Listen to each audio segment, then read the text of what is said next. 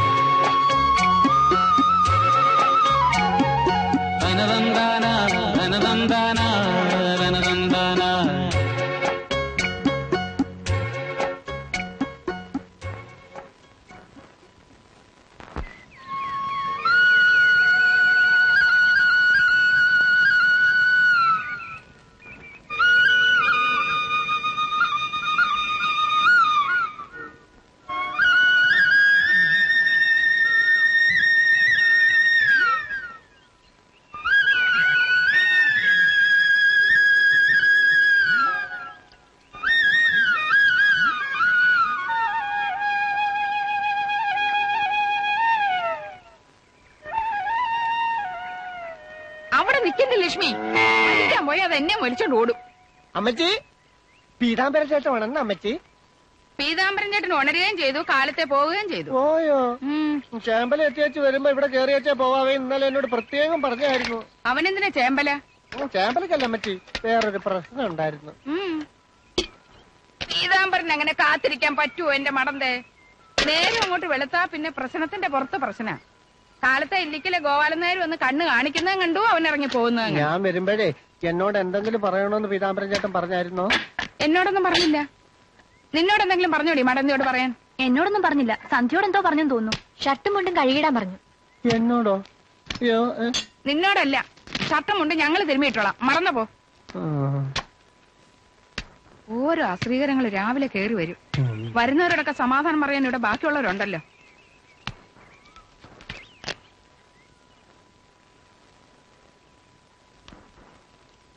കട തുറന്നു വെച്ചിട്ട് നേരം കുറെ ആയല്ലോ നീ ഇതവിടെ പോയി കിടന്നു. പുറമ്പോക്കിൽ എങ്ങും ഇല ഇല്ല ഇതന്നെ കൊറേ നടന്നിട്ടാ കിട്ടിയത്. ഇല എവിടെ ഉണ്ടെന്ന് നേരത്തെ നോക്കി വെക്കണ്ടേ. നാളെ ഇങ്ങനെ ആവണ്ട. നീ പോയി കുറച്ച് വെള്ളം കൊണ്ടുവാ. ചേട്ടൻ ഇങ്ങോട്ട് വന്നായിരുന്നോ? മില്ലിൽ വർഗീസിന്റെ കൂടെ ചായക്കടയിൽ നിന്ന് ഇറങ്ങി പോകുന്നുണ്ട് എന്തിനാ? ഒരു പ്രശ്നമുണ്ട്. പ്രശ്നത്തിന് പുറകെ പൊക്കളായിരുന്നു ഇവിടെ സൂപ്പ് കൊണ്ടേ കൊടുക്കണം.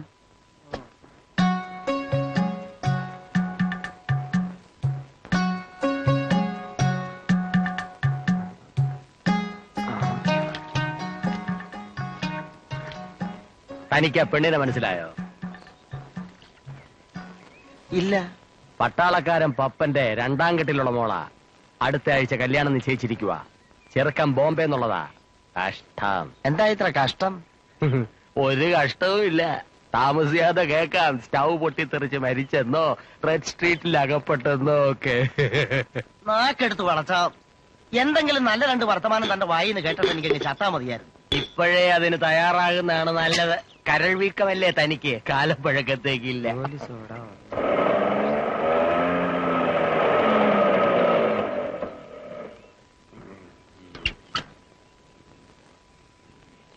ഒരു മിനിറ്റ് വിൽസ്. അയ്യോ ഇല്ല അല്ലെങ്കിൽ എപ്പോഴാണ് എന്റെ വിൽസ് കാണുന്നത് നമ്മുടെ മമ്മയുടെ കുറിച്ചിട്ട് ഒന്ന് വീണോട്ടെ? അങ്ങനെയാണെ ഒരു കാലത്ത് ഇവിടുന്ന് വിൽസ് കിട്ടാൻ പോകുന്നില്ലെന്ന് അർത്ഥം. വേറെ ഏതൊക്കെ സീറ്റുണ്ട് ഇപ്പൊ ഒന്നുമില്ല പയ്യൻ ടൗണിന്ന് പറയണം നല്ല തെറുപ്പ് പേടിയുണ്ട് സീർട്ടിന്റെ കൂട്ടിലിട്ട് തരാം. അത് തന്നെ തന്നെ വലിച്ചാ മതി. പീതാൻ വന്നോ? ഇങ്ങോട്ട് വന്നില്ല. അങ്ങോട്ട് കെട്ടിയെടുക്കുന്ന കണ്ടു. എങ്ങോട്ടാ പോയത്? അത് ഗണിച്ചു പറയാൻ ഞാൻ കണിയാനല്ലല്ലോ സുഗുണ. പാമ്പ് കടിച്ചു മരിച്ച കർണന്റെ മോളുടെ കല്യാണ പിരിവുമായി രാവിലെ വീട്ടിൽ വന്നിരുന്നു. എനിക്കും കണ്ടിട്ടൊരു കാര്യം ഉണ്ടായിരുന്നു. ഇനിയിപ്പോ എവിടെ ചെന്ന് അന്വേഷിക്കാനാ?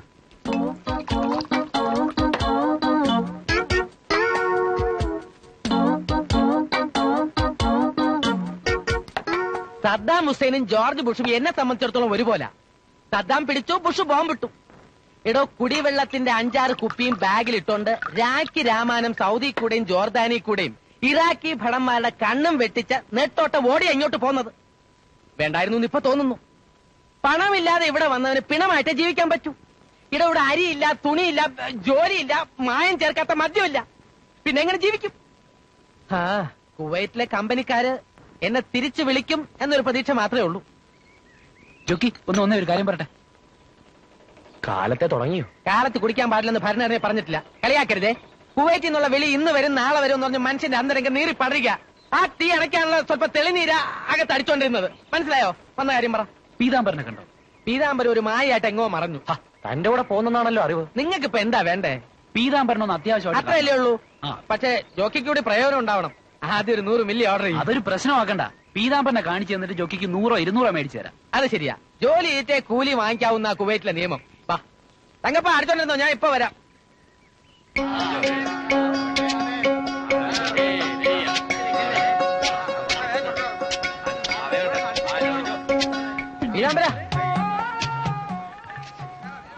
നല്ല ആളാ. മെഡിക്കൽ ക്യാമ്പ് തുടങ്ങുന്ന ഞായറാഴ്ചയാണെന്ന് അറിയില്ലേ. ഇതുവരെ ആകപ്പാടെ ഇരുപത്തൊന്ന് പേരെ രജിസ്റ്റർ ചെയ്തിട്ടുണ്ട്.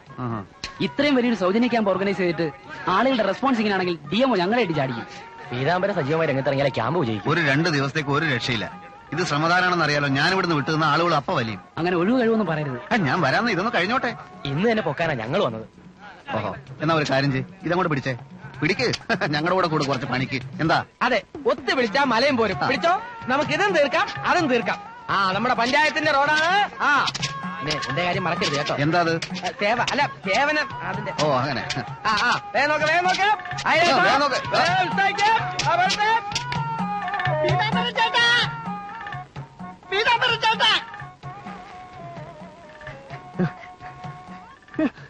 പീതാംബരൻ ചേട്ടനെ എവിടൊക്കെ തിരക്കെന്ന് അറിയാമോ മടന്തയുടെ കാര്യം ഞാനങ്ങ് മറന്നുപോയി. ആ ഇതാ പീതാംബരൻ ചേട്ടന്റെ ഒരു കുഴപ്പം. ഈ മറവി. മടന്ത പറഞ്ഞ സ്ഥലം റേഷൻ കടക്കാരൻ അവറാച്ചനാണല്ലേ? ആണല്ലേ അതെ അയാൾ കടയടക്കുന്നതിന് മുമ്പ് ചെല്ലണം. ചേട്ടൻ എങ്കിലെങ്കിലും ഇത് പറഞ്ഞ് ശരിയാക്കി തന്നില്ലെങ്കിലേ നാളെ മുതൽ എനിക്ക് പണിയുണ്ടാവില്ല. ഒരു കാര്യം ചെയ്യ്. നിങ്ങൾ നടന്നോ. എന്ത് വേണം? പഞ്ചാര. പഞ്ചാര. ഈ മാസത്തെ പഞ്ചാര വന്നിട്ടില്ല. എപ്പോ വരും? നാളെ ഏഴ് നാൽപ്പത്തി ആറിന് ഇതൊക്കെ എന്നോട് വെച്ച് ഞാനെന്ത് പറയും? വരുമ്പോ വരും. ഓ കഴിഞ്ഞ മാസം ഇത് തന്നെയാണല്ലോ പറഞ്ഞത്. അവിടെ എന്ത് വേണം? മണ്ണെണ്ണ. മണ്ണെണ്ണ.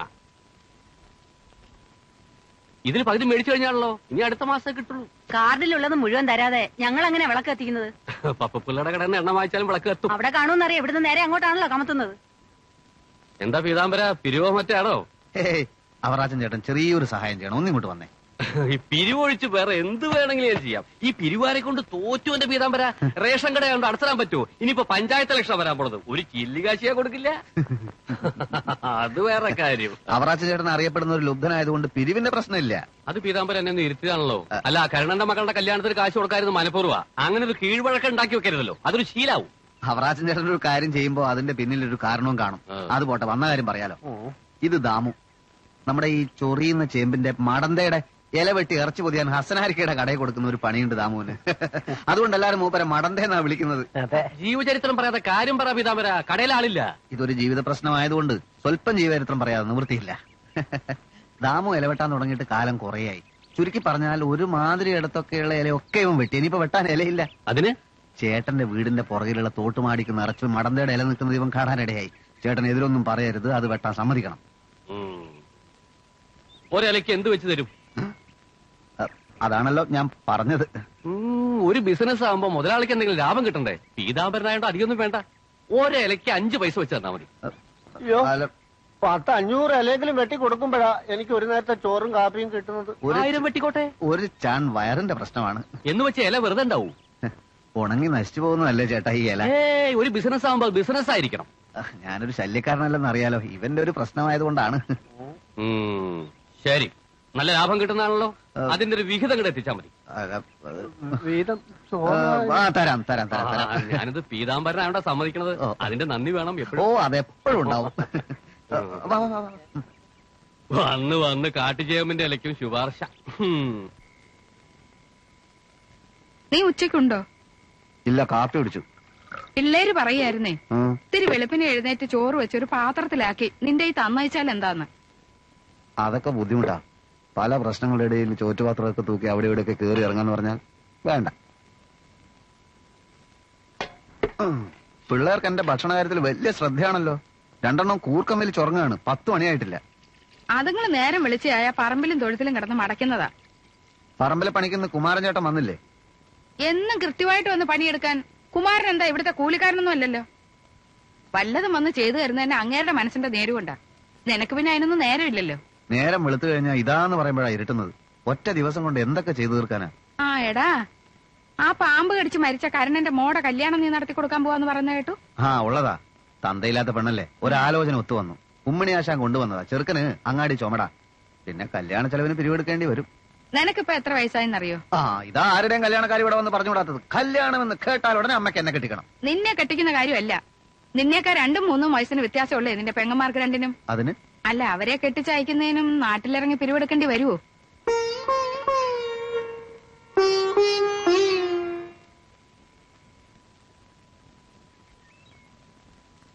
തുടച്ചത് മതി. താമസ പീതാമ്പന്റെ വെക്കൊണ്ടാണെങ്കിൽ പോകും പീതാംബരം പറഞ്ഞാൽ നിനക്ക് കോൺട്രാക്ട് കിട്ടും.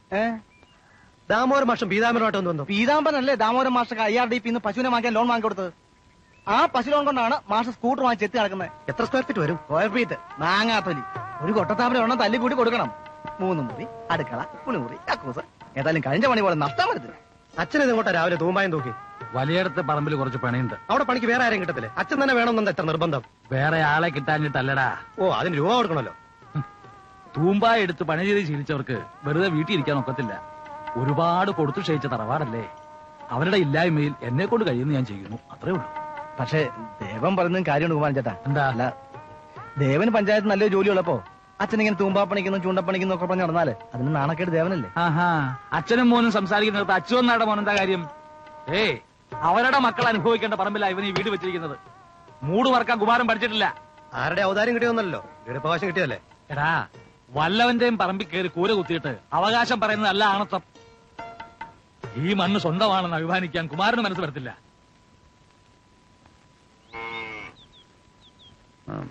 നിന്റെ കാശ് വല്ല ഇരിപ്പുണ്ടോ എന്റെ കയ്യിൽ എവിടുന്ന കാശ്? ഇന്നലെ അല്ലേ അമ്മയുടെ നിന്ന് പത്ത് രൂപ മേടിച്ചോണ്ട് പോയത്? അതുകൊണ്ടല്ലേ ഇത് നിന്നോട് ചോദിക്കുന്നത്. നിന്റെ കയ്യിൽ ഓ ഇറങ്ങിയോ? അപ്പുറത്ത് മുഖം കാണിക്കാൻ രണ്ടുപേരും വന്ന് ഇരിപ്പുണ്ട്. ഏതാണ്ട് ആന കാര്യത്തിന്. ചായ കൊടുത്ത് സൽക്കരിച്ചു. എടാ അമ്മാവന് സുഖമില്ലെന്ന് പറഞ്ഞിട്ട് നീ അവിടം വരെ ഒന്ന് പോയോ? ഇന്ന് പോവാം. ആ, അമ്മയുടെ കയ്യിൽ കാശ് വല്ലതും എന്താ? അല്ല കാശ് വല്ലതും ഉണ്ടെങ്കിൽ ഇവിടുത്തെ ചെലവിന്. ആ വീട്ടുകാരെ അന്വേഷിക്കുന്ന ഒരാൾ. ആ നിങ്ങളായിരുന്നോ. വരൂ. അവന്മാര് വേലി കെട്ടിയിട്ടില്ലല്ലോ? ഇന്ന് മിക്കവാറും കെട്ടും. അതിനുമ്പ് പീതാംബരം വന്ന് ഈ പ്രശ്നം ഒന്ന് ഒതുക്കി തരണം. ആയിക്കോട്ടെ നമുക്ക് അങ്ങോട്ട് നീങ്ങാൻ വരൂ. എന്റെ റേഷൻ കാർഡ്. ഓ പറഞ്ഞതുപോലെ റേഷൻ കാർഡിന് അപേക്ഷ കൊടുക്കേണ്ട ഇന്നാണല്ലോ. ഒരു കാര്യം ചെയ്യാം. ഞാൻ വൈകുന്നേരം അങ്ങോട്ട് വരാം. അവരിന്ന് വേലി കിട്ടുന്നേ. വേലി കെട്ടിയാൽ നമുക്ക് പൊളിക്കാന്നേ. ബെർലിൻ മതിൽ പൊളിച്ചില്ല. അതിനേക്കാളും വലുതാണ് ഒരു വേലി.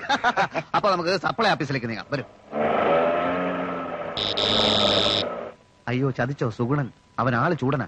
നിങ്ങൾ രണ്ടാളും ഒരു കാര്യം ചെയ്യ്. ശാന്തപ്പന്റെ മുറുക്കാങ്കട അടുത്ത് നിൽക്ക്. ഞാൻ അങ്ങോട്ട് വരാം. എപ്പോ? കറക്റ്റ് സമയത്ത് ഞാൻ വരാം. ശരി. ആ. അത് പിന്നെ നമ്മുടെ തെങ്ങ് പാട്ടം കൊടുത്തതിന്റെ കാശ് കിട്ടിയോ? ആ കിട്ടിയെങ്കിൽ അല്ല ഇവിടെ പല കാര്യങ്ങളുണ്ടല്ലോ. കുമാരൻ ചേട്ടൻ ചൂണ്ടൊക്കെ പോയില്ലേ? ഈ തെങ്ങിനെല്ലാം തടവെടുത്ത് കുറച്ച് വളമിടണം. ഇതിന്റെ മണ്ടയ്ക്ക് വല്ലതും കിട്ടിയാലല്ലേ ഇവിടെ അരി മേടിക്കാൻ പറ്റൂ? അതെങ്ങനാ? ഇത് നോക്കിയും കെട്ടും ചെയ്യേണ്ട ആളുകൾ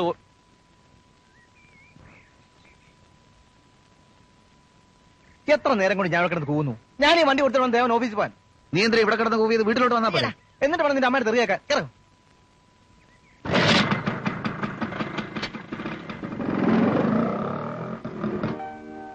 സിസിലി ആ ഗ്ലാസ് ഇഞ്ഞിതാ പള്ളിയിൽ നിന്ന് വരുമ്പോ സുഗുണൻ ചേട്ടനെ കണ്ടു. ഇപ്രാവശ്യത്തെ ചിട്ടി സുഗുണൻ ചേട്ടന് കൊടുക്കണമെന്ന് മമ്മായോട് പറയാൻ പറഞ്ഞു. അതെങ്ങനെയാ? കുറിച്ചിട്ടല്ലേ ഞാൻ വിചാരിച്ചാലും കൊടുക്കാൻ പറ്റുമോ? സുഗുണന്റെ പേര് നറുക്കിടണോ എന്നെ ആലോചിക്കണം. രണ്ട് മാസത്തെ തവണ കുടിശ്ശികയാ പീതാമ്പരി ചേട്ടൻ ഒരു പണി പിടിച്ചു കൊടുത്തിട്ടുണ്ട്. കുടിച്ചു തീർക്കുമായിരിക്കും. ആ നോക്കട്ടെ.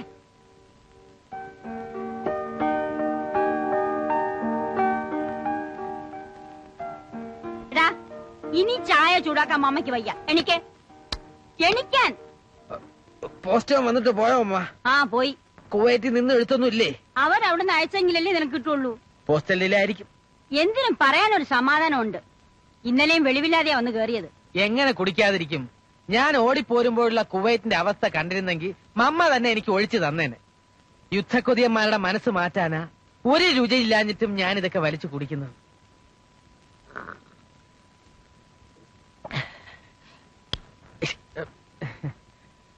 കലാപരിപാടികൾ എത്ര മണിക്ക് തുടങ്ങുന്നു എന്നുള്ളത് എന്നെ സംബന്ധിച്ചിടത്തോളം ഒരു പ്രശ്നമല്ല. എന്റെ അധ്യക്ഷ പ്രസംഗത്തിന് ഒരു മണിക്കൂർ വേണം. അതുപോലെ തന്നെ ഉപസംഹാരം. എനിക്ക് ഒന്നര മണിക്കൂറെങ്കിലും വേണം ചുരുങ്ങിയത്. എങ്കിൽ എന്റെ ആശയം ജനങ്ങളെ പറഞ്ഞ് ബോധ്യപ്പെടുത്താൻ നോക്കും. അതും വിശേഷിച്ച് നാട്ടുമ്പുറം ആയതുകൊണ്ട് ഒന്ന് പരത്തി പറഞ്ഞാൽ താഴേക്കിടയിലുള്ള ജനങ്ങൾക്ക് ഇത് മനസ്സിലാവും. അപ്പോഴേക്കും നേരം വിളിക്കും സാറേ. ഒരു കഥാപ്രസംഗം ഏകാംഗ നാടകം നൃത്ത നൃത്യങ്ങൾ അങ്ങനെ പലതും ഉള്ളതാ. അതൊന്നും എനിക്ക് കേൾക്കണ്ട. എന്റെ പ്രസംഗം കേൾക്കാൻ ആളുകൾ വരുന്നത്. അപ്പൊ ഞാൻ പ്രസംഗിക്കും. ഞാൻ അപ്പോഴേ പറഞ്ഞതാ സാറിനെ അധ്യക്ഷനാക്കിയ കുഴപ്പമാവുന്നു എന്ത് കുഴപ്പമാണോ? പ്രായമായ പെൺപിള്ളേര് സ്റ്റേജിൽ കയറി ഇന്ന് ചന്തിയിട്ട് കുലുക്കുന്നതാണോ പ്രസംഗം? ജനങ്ങളെ ചിന്തിപ്പിക്കുകയും കർമ്മനിരതരാക്കുകയും ചെയ്യുന്ന പ്രസംഗമാണ് എന്റേത്. മീറ്റിംഗ് ആറു മണിക്കെന്നല്ലേ പറഞ്ഞത്? അപ്പൊ ഒരു ഏഴ് മണിക്ക് ഒരു വണ്ടി കൊണ്ട് ഇങ്ങോട്ട് വന്നോളൂ. വൈകി വന്നാലേ ശ്രദ്ധിക്കപ്പെടുള്ളൂ കയ്യടി കിട്ടുള്ളൂ. പൊക്കോളൂ. സർ ദൈവം സമ്മേളനം കലക്കരുത്. വിറപ്പിക്കും ഞാൻ. സ്റ്റേജിൽ കയറിയ പിന്നെ എന്നെ പിടിച്ചാ കിട്ടില്ല. ആ പൊക്കോളൂ.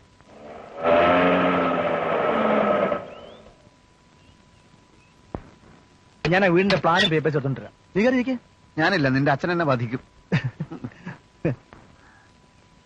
ആ പീതാംബരനോ കേറി വാടോ. വേണ്ട ഞാനിവിടെ നിന്നോളാവേ. ആ വരൂന്നേ. വായനശാലയുടെ കമ്മിറ്റിയെ കൂടി അറിഞ്ഞു. വാർഷിക എന്നൊക്കെയാ അധ്യക്ഷൻ ഞാൻ തന്നെ ആയിരിക്കുമല്ലോ അല്ലേ? ഇത്തവണ വാർഷികമില്ല. അയ്യോ അതെന്ത് പറ്റി? പിരിവിന് ചെന്നാ ജനങ്ങൾ അടിക്കും. വലിയ പരിപാടിയൊന്നും വേണ്ട. എന്റെ ഒരു ഊക്കൻ അധ്യക്ഷ പ്രസംഗം ഒരാമുഖം ഒരു ഉപസംഹാരം. ജനങ്ങൾ പറയുന്നത് അവരെ സംഹരിച്ചത് മതിയെന്നാ. വന്നേ വന്നേ. പിന്നെ നിനക്ക് ഈ കെട്ടിടം പണി കിട്ടിയ കള്ളത്തരം കാണിച്ചിട്ടെങ്കിലും കുറച്ച് ഇഷ്ടികം സിമെന്റും മിച്ചം വെച്ച് ഈ മുറ്റത്തൊരു സ്റ്റേജ് കെട്ടണം. എന്തിന്? നിന്റെ അച്ഛന് പ്രസംഗിക്കാൻ. ശ്രമിക്കാം. ഡേറ്റ് ഓഫ് ബർത്ത് പറ. Two five nineteen seventy two എന്ന് വെച്ചാ നിനക്കിപ്പോ പത്തൊമ്പത് വയസ്സായിട്ടുള്ളൂ? ദേ അപേക്ഷാ പുറത്ത് നുണ എഴുതി വിട്ട അവസാന ഇന്റർവ്യൂവിന് ചെല്ലുമ്പോ അവർ പിടികൂടും. നോണയോ? എനിക്ക് പത്തൊമ്പതേ ആയിട്ടുള്ളൂ. അതേടാ. സന്ധ്യക്ക രണ്ടു മാസത്തിന്റെ മൂപ്പല്ലേ ഉള്ളു സിസിലിക്ക്. ഓഹോ കണ്ടാലൊരു പത്തിരുപത്തഞ്ച് വയസ്സ് തോന്നും കേട്ടോ എഴുതി തരുന്നേത്താ. സ്വന്തമായിട്ട് ഒരു അപേക്ഷ പോലും എഴുതാൻ അറിയാൻ വയ്യാത്ത നീയൊക്കെ എന്ത് ജോലിക്കാടി ശ്രമിക്കുന്നത്? അപേക്ഷ എഴുതാൻ അറിയാഞ്ഞിട്ടൊന്നും അല്ല പീതാംബരൻ ചേട്ടന് ഒരു ജോലി ആയിക്കോട്ടെ എന്ന് കരുതിയ. ഓ സന്തോഷം. എന്താ ഡേറ്റ് ഓഫ് ബർത്ത് പറഞ്ഞത്? Two five sixty two seventy two seventy two മറ്റുള്ളവർക്ക് അപേക്ഷ എഴുതുന്ന കൂട്ടത്തിൽ നിനക്കും കൂടെ ഒന്ന് എഴുതി അയക്കരുതോ? ടൗണിൽ ഒരു ഫാക്ടറി തുടങ്ങാൻ പോകുന്നു എന്റെ ഫ്രണ്ട്സ്. എനിക്ക് അവിടെ ഉറപ്പായിട്ട് ഒരു ജോലി തരാമെന്ന് അവർ ഏറ്റിരിക്കണമേ ഉള്ളതാണോ? സത്യം. ഓ ഈ തെങ്ങേപ്പാട്ട് തുടങ്ങിയിട്ട് കുറെ നേരമായല്ലോ എന്റെ ഈശ്വര. തെങ്ങേപ്പാട്ടല്ല ശങ്കറിന്റെ വീട്ടിലെ ടേപ്പ് റെക്കോർഡറാ ശങ്കരന്റെ മോൻ വാസു ദുബായിൽ നിന്ന് വന്നു നാട്ടുകാരെ അറിയിക്കാനുള്ള പരിപാടിയാ. വാസു ഇവിടെ വന്നിരുന്നു. അവന് വീട് വെക്കാൻ നമ്മുടെ പടിഞ്ഞാറെ പുരയിടം വിലക്ക് ചോദിച്ചു കൊടുക്കുന്നില്ലെന്ന് ഞാൻ പറഞ്ഞു. പഴയ കുടികിടപ്പുകാർക്കൊക്കെ വീട് വെക്കാൻ നമ്മുടെ പുരയിടം തന്നെ വേണമല്ലോ. അതങ്ങനെ. നമ്മുടെ സ്ഥിതി മോശമാണ് നാട്ടുകാർക്കൊക്കെ അറിയാമല്ലോ.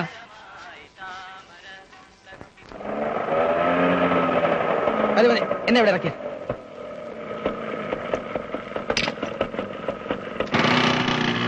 ഒരു സോഡ ഇങ്ങെടുത്തോ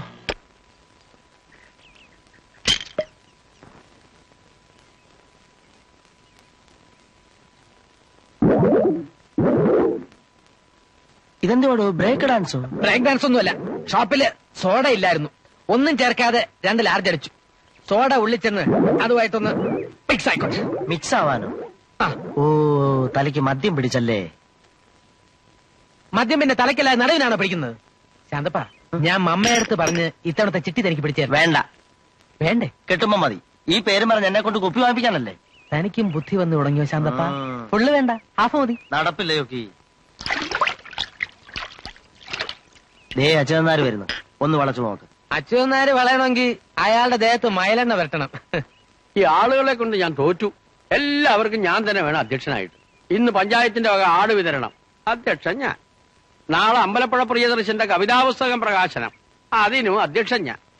വിട്ടോടിപ്പോയാലോ എന്ന് ആലോചിക്കാം. ചേട്ടന്റെ കോരിത്തരിപ്പിക്കുന്ന പ്രസംഗം ആളുകൾക്കൊരു ഹരമാ. അതൊക്കെ ശരിയാ ശാന്തപ്പ. പക്ഷെ എല്ലാത്തിനും വേണ്ട ഒരു അതിർ വരുമ്പ് എനിക്കാണെങ്കിൽ പഴയതുപോലെ മേലാൻ താനും അല്ല ഉമ്മണിയാശാനെ കാണാനില്ലോ ആശാൻ ചെറുപ്പം നിർത്തി പോയോ? ആശാന്റെ മോക്കൊരു കല്യാണാലോചന. ഓഹോ. അതിന് പീതാമ്പൻ എന്നടിച്ച് പോയിരിക്കുക പീതാമ്പനാണോ വരൻ? പീതാമ്പൻ നല്ല വരൻ. പിന്നെ അവൻ തെല്ലാളോ ഒരു സഹായി. സഹായി? എന്ത് സഹായി? ഒരു പൊതുയോഗോ മീറ്റിംഗോ പ്രസംഗമോ സംഘടിപ്പിക്കാൻ കഴിയാത്ത അവൻ എന്ത് സഹായിയാടോ? നേരാ. അങ്ങനെയുള്ള വട്ടൊന്നും പീതാംബരനില്ല പ്രസംഗത്തിലല്ല. പ്രവർത്തനത്തിലാ പീതാംബരന് താല്പര്യം. എന്ത് പ്രവർത്തനത്തിനും ആവേശം പകരാൻ ഒരു പ്രസംഗം അത്യാവശ്യമാണ് ചൊക്കി. എന്റെ പേര് ചൊക്കിന്നല്ല ജൊക്കിന്ന. എല്ലാം കണക്ക് തന്നെ. അല്ലെങ്കിൽ തന്നെ മഹന്മാരെന്താ ചോദിച്ചിരിക്കുന്നത്? പേരിൽ എന്തിരിക്കുന്നു വിഭവം? ജോ എന്നുള്ളത് ചോ ആക്കി. അതിലെന്താ? എന്നാലേ ഞാനൊരു കാര്യം ചെയ്യാം. ആ. അച്യുതൻ നായർ എന്ന പേരില്ലേ? അങ്ങോട്ട് മാറ്റിക്കളയാം. ഓ.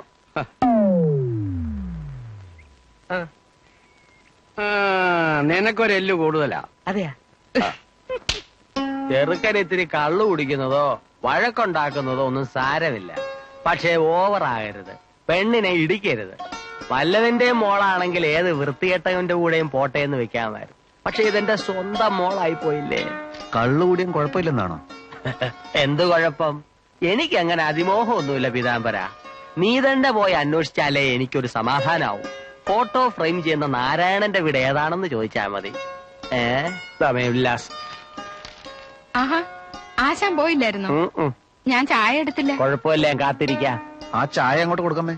ഇങ്ങതാട്ടെ എന്തായി കല്യാണ പ്രശ്നം പീതാംബരം പോയൊന്ന് അന്വേഷിക്കണം. വേറെ തിണ്ടികൾ അയക്കാവെന്ന് വെച്ചാൽ വണ്ടി കൂലി ഊണ് കാശ് വട്ടച്ചെലവ് ഇതൊക്കെ ചോദിക്കാം. ആ അത് നേരെ. ഇവനാവുമ്പോ പിന്നെ അതൊന്നും വേണ്ട. ആ അഭിമാനിയാ. അപ്പൊ പിന്നെ എപ്പോഴാ പിതാപരാ പോണേ? നാളെ പോവാം. ഉം. പോയിട്ട് വരുന്ന വഴിക്ക് എന്റെ വീട്ടിലോട്ട് കേറിയാ മതി. തീർന്നു ഉം. പോട്ടെ അമ്മേ.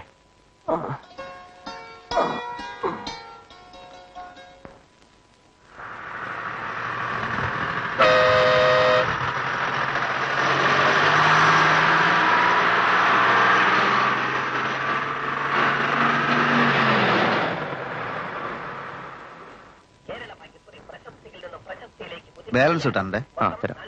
ബാക്കി കിട്ടിയില്ല ആ ടിക്കറ്റ് ഇങ്ങെടുത്ത് ഒരു എൺപത് പൈസ ഇവിടെ കൊടുത്തേ. ഇയാക്കോ അതെ ഇയാക്കോ വാ.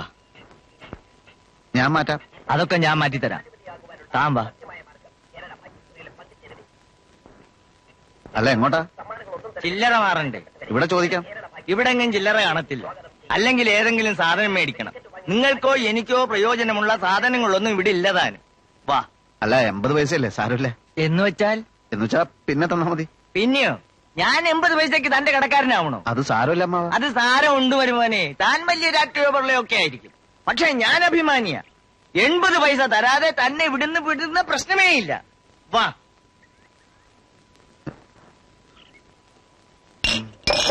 എന്താ വേണോ? എനിക്കോ? എനിക്ക് വേണ്ട. എന്നാ ഒരു കാര്യം. താനേ ഈ കുടയൊന്ന് പിടിക്ക. വെയിൽ കൊള്ളണ്ട. ഞാൻ ഇപ്പൊ വരാം.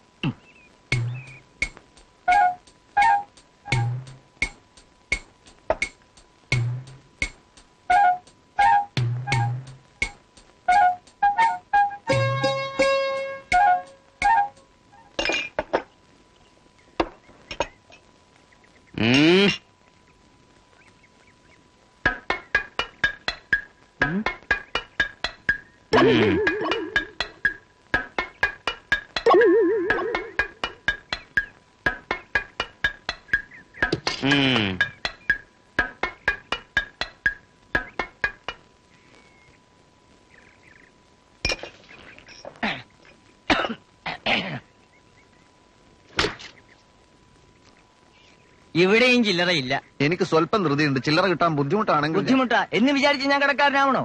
ഒന്നും സമ്പാദിച്ചില്ലേലും ഇതുവരെ ആരോടും കടം പറയേണ്ട ഗതികേട് എനിക്ക് വന്നിട്ടില്ല. ഒരു പത്ത് ചൂട് അങ്ങോട്ട് വെച്ചാൽ വീടായി. നിങ്ങളുടെ ഇപ്പോഴത്തെ ഈ ഇടപാട് തീർക്കാനുള്ള ചില്ലറ അവിടെ കാണും. വാ. കൊട കൊട കൊട. ഇരിക്കട്ടെ എനിക്ക് തന്നെ വിശ്വാസ.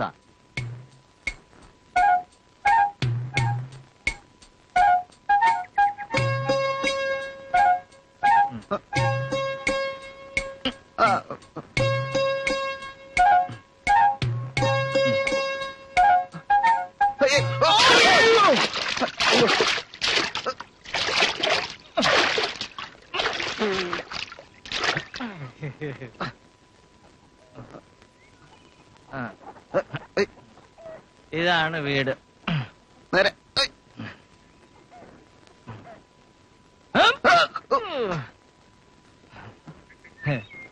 ഓളെ ഇന്ദു. ഇന്ദു. അയ്യോ അച്ഛാ അച്ഛനിത് എന്ത് പറ്റി? ഇദ്ദേഹം പാടത്തുനിന്ന് വീണു. അകത്തോണ്ടേ കിടത്താം. വേണ്ട. മരുന്ന് കഴിച്ചോണ്ടിരുന്ന മനുഷ്യനെ മൂക്കറ്റം കുടിപ്പിച്ചിട്ട് താങ്ങി എടുത്തോണ്ട് വന്നിരിക്കുന്നു. തന്നെ ഇത് എവിടുന്ന് കെട്ടിയെടുത്തു? പഴയ ശില്ബന്ധിക്കാരെയൊക്കെ പറഞ്ഞു വിലക്കിയപ്പോ പുതിയൊരു ബന്ധം. തരക്കാരുമായിട്ട് പോരെ. വെറുതെ എന്തിനാ പ്രായമായവരെ വലിക്കുന്നത്?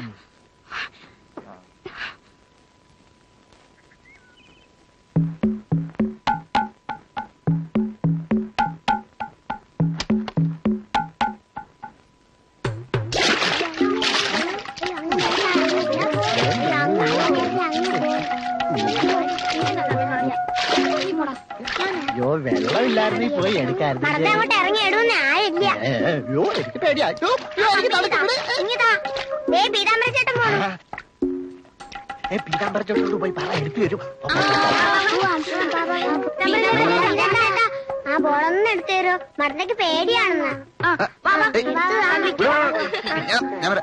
ചേട്ടൻ നീന്താൻ അറിയാവോ ഒരു ചെറിയ പന്തെടുക്കുന്നതിന് എന്തിനാ നീന്തുന്നത്. ഇത്. ഇപ്പൊ എടുത്തോണ്ട് വരട്ടാ.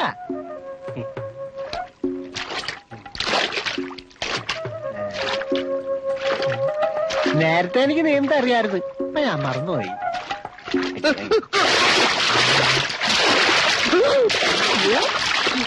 ചേട്ടൻ നന്നായിട്ട് നീന്തുന്നല്ലേ നീന്തണ്ട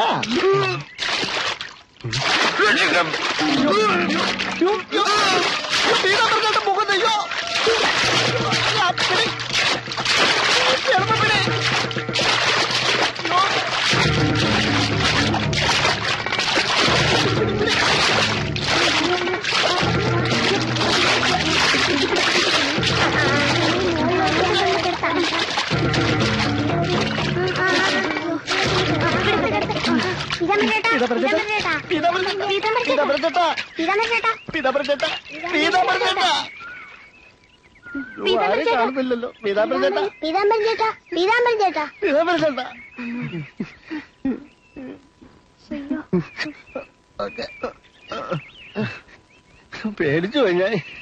ആരാ എന്നെ രക്ഷിച്ചത്? ഞങ്ങളാ.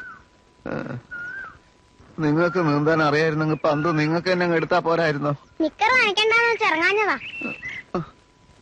എന്നെ രക്ഷിച്ചതിന് നിങ്ങൾക്ക് രണ്ടുപേർക്കും ധീരതക്കുള്ള അവാർഡ് കിട്ടും. ഞാൻ അപേക്ഷ എഴുതിത്തരാം.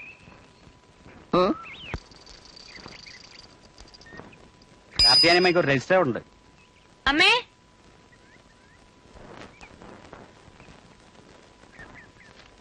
ഇവിടെ നോപ്പിടണം എവിടെ? ദേ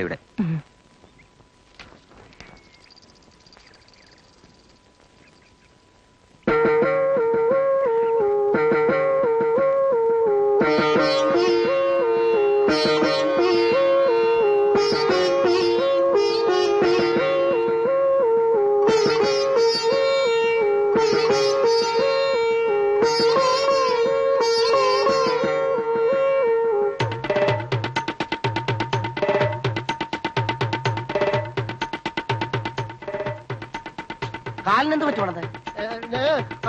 അറുവാച്ചന്റെ തോട്ട് മാടിക്ക ചാമ്പലയത്ത് ഇറങ്ങിയപ്പോ കുപ്പിച്ചിൽ കൊണ്ടതാ.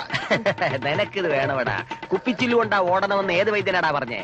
പീതാംബരൻ ചേട്ടൻ ഇങ്ങോട്ട് വന്നു? പീതാംബരൻ പാമ്പ് കടിച്ച് ചത്ത കരണന്റെ വീട്ടിൽ കാണും. നാളെ പെണ്ണിന്റെ കല്യാണമല്ലേ? കഷ്ടം. എന്താ അവിടത്തെ കാര്യം? അറിഞ്ഞില്ലേ? മമ്മാടെ മോനെ പോലീസ് പിടിച്ചോണ്ട് പോയി. ഏ? ആ.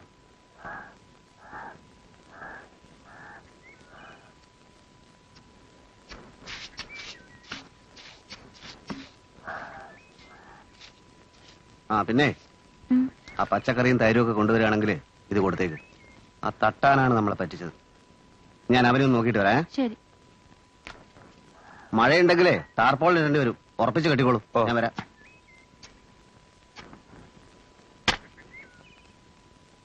ആ പീതാംബര ജൊക്കിയെ പോലീസ് പിടിച്ചു. എന്തിന്? പിന്നെ ചാരാശപ്പിച്ച് അടിയുണ്ടാക്കി.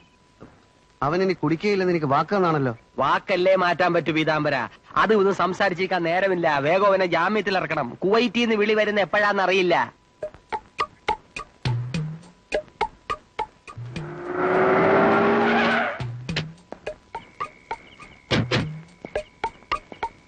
എല്ലാരും കൂടി ആരുടെ മരി പണം പോവാ? നിങ്ങൾ ഇവിടെ നിൽക്ക് ഞാൻ മാത്രം പോയിട്ട് വരാം. ഞാൻ പീതാംബരൻ. എസ് ഐയുടെ പങ്ങളുടെ കല്യാണത്തിന് ദേഹണ്ണം മുഴുക്കാൻ ഞാനായിരുന്നു. കഷ്ടം. ആര് മരിച്ചെന്നാ പോലീസുകാരൻ പറഞ്ഞേ? അവന്റെ തന്ത. പോലീസ് സ്റ്റേഷനിലും കയറാൻ പറ്റത്തില്ലെന്ന് പോലീസുകാര് ജൊക്കി വല്ലതും ചെയ്യുവോ? ഉമ്മ വയ്ക്കും. കൊമ്പമീശയില്ലാത്ത ജൊക്കിയുടെ ഭാഗ്യം. ഉണ്ടെങ്കിൽ എന്താ ആശാനെ? പണ്ടെങ്കിൽ എന്താ ആശാനെ? ഓ നിനക്ക് പത്രം വായിക്കാൻ അറിഞ്ഞൂടല്ലോ. കൊമ്പമീശയോട് പോലീസുകാർക്ക് പ്രത്യേക സ്നേഹമാ. അവരത് പിഴുതെടുക്കും. ഇങ്ങനെ. എന്താണോ വിശന്നിട്ടാ. ജാമ്യം കിട്ടിയോ എസ് ഐ ഇവിടെ ഇല്ല. പോക്കറ്റ് അടിക്കാരൻ ഉസ്മാനെ തൊഴിച്ച് കാലുളിക്ക് ക്വാർട്ടേഴ്സിലാ. ഉളുക്കുന്ന കാലുകൊണ്ട് ഏമാനത്തിനാ തൊഴിക്കാൻ നടക്കുന്നത് ജൊക്കിയെ കണ്ടോ? അവൻ നല്ല ഉറക്കത്തില. നമ്മളിപ്പോ അവനെ ജാമ്യത്തിലെടുത്ത് ഉപദ്രവിക്കണോ? നല്ല ഉറക്കമാണെങ്കിൽ നമുക്കങ്ങ് പോവാ. വാ. പോവാൻ വരട്ടാശന എസ് ഐയുടെ കാലുളിക്ക് നിറഞ്ഞ സ്ഥിതിക്ക് നമ്മൾ പോയെന്ന് നോക്കിയില്ലെങ്കിൽ മോശമല്ലേ? മോശമാണോ എന്ന് ചോദിച്ചാൽ മോശമാണ്. ആ ചിലപ്പോ ചില തെണ്ടികളുടെ സഹായവും വേണ്ടി വരും. പണ്ട് എസ് ഐയുടെ വീട്ടിലോട്ടേ പുഷ്കരാ. കേറ്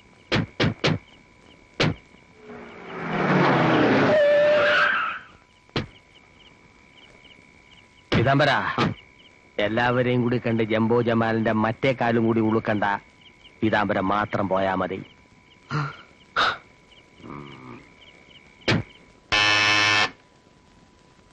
ഏത് തെണ്ടിയാടാ അത്?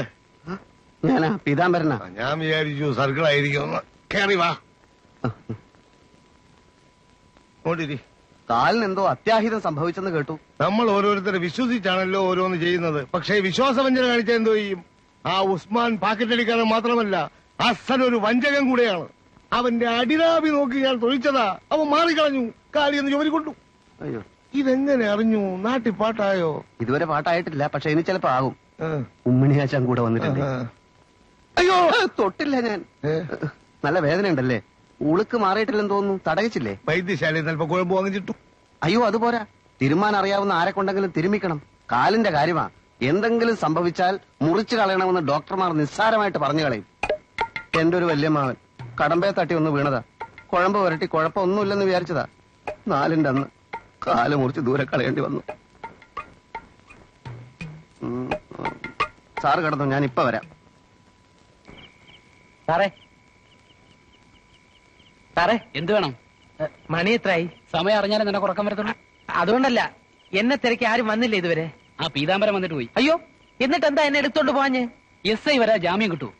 ഈ സ്റ്റേഷൻ ഇങ്ങനെ തുറന്ന് മലത്ത് വെച്ചിട്ട് എസ് ഐ എവിടെ പോയി കിടക്കുവാ? പീതാംബരം വല്ലതും പറഞ്ഞു സാറേ. ജാമ്യം വാങ്ങിക്കാൻ പോയിരിക്കുക എസ് ഐ കോട്ടസിൽ ജാമ്യം തരുന്നതിന് മുമ്പ് ആദ്യം എന്തെങ്കിലും കഴിക്കാന്താ? എനിക്ക് വിശക്കുന്നു. മൂക്കറ്റം പിടിപ്പിക്കുമ്പോഴേ ആലോചിക്കണമായിരുന്നു വിശക്കുമെന്ന്. ചേട്ടൻ കഴിക്കുമെങ്കിൽ എനിക്ക് നിനക്ക്? എനിക്ക് ഒന്ന് മാത്രമേ പറയാനുള്ളൂ. അത് എത്രയും പെട്ടെന്ന് സ്റ്റോപ്പ് ചെയ്യണം. മദ്യം വിഷമാ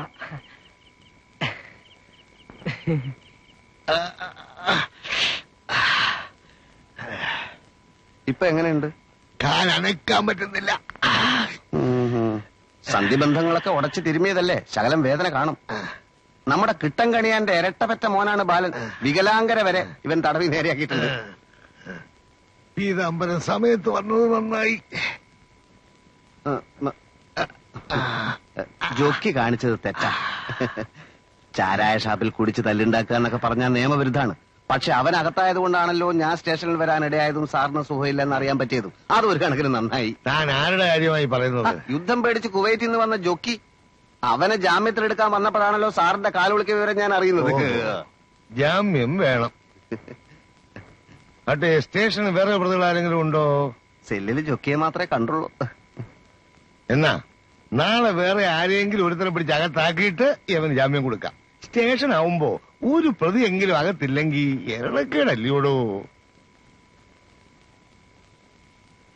എന്നുടെ പണി പിടിച്ചിടുവാൻ മുഹൂർത്തവും വന്നടുത്തിതു നന്ദനന്ദനം കണ്ടില്ലല്ലോ.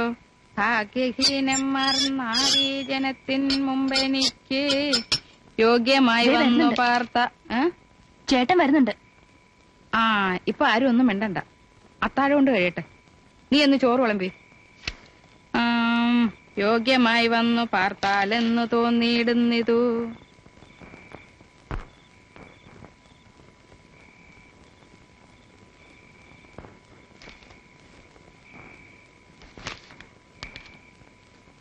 ഇത് അമ്മയ്ക്കുള്ള എഴുത്താണല്ലോ.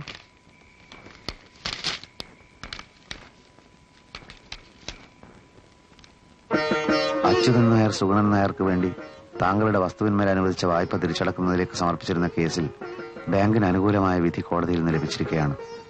പതിനഞ്ച് ദിവസത്തിനകം വായ്പ അടച്ചു തീർത്തില്ലെങ്കിൽ താങ്കളുടെ വസ്തുവിന്മേൽ ജപ്തി നടപടികൾ സ്വീകരിക്കുമെന്ന് ഇതിനാൽ അറിയിച്ചുകൊള്ളുന്നു അനുഭവം ഉണ്ടായിരുന്ന സ്ഥലങ്ങളൊക്കെ നിന്റെ അച്ഛൻ നാട്ടുകാരെ സഹായിക്കാൻ എഴുതി വെച്ചു. ബാക്കി കുടിയെടുപ്പുകാർക്ക് വിധിച്ചു കൊടുത്തു. ഇനിയിപ്പോ സ്വന്തം എന്ന് പറയാൻ ആകെ ഉള്ളത് ഈ വീടും പറമ്പുവാ. നീയായിട്ട് അതും കൂടെ കളയോ മോനെ? ഇത് ജപ്തി ചെയ്തുകൊണ്ട് പോയാ അമ്മയും പ്രായമായ രണ്ട് പെൺപിള്ളേരും എങ്ങോട്ട് പോണോന്നും കൂടെ മോൻ പറയണം.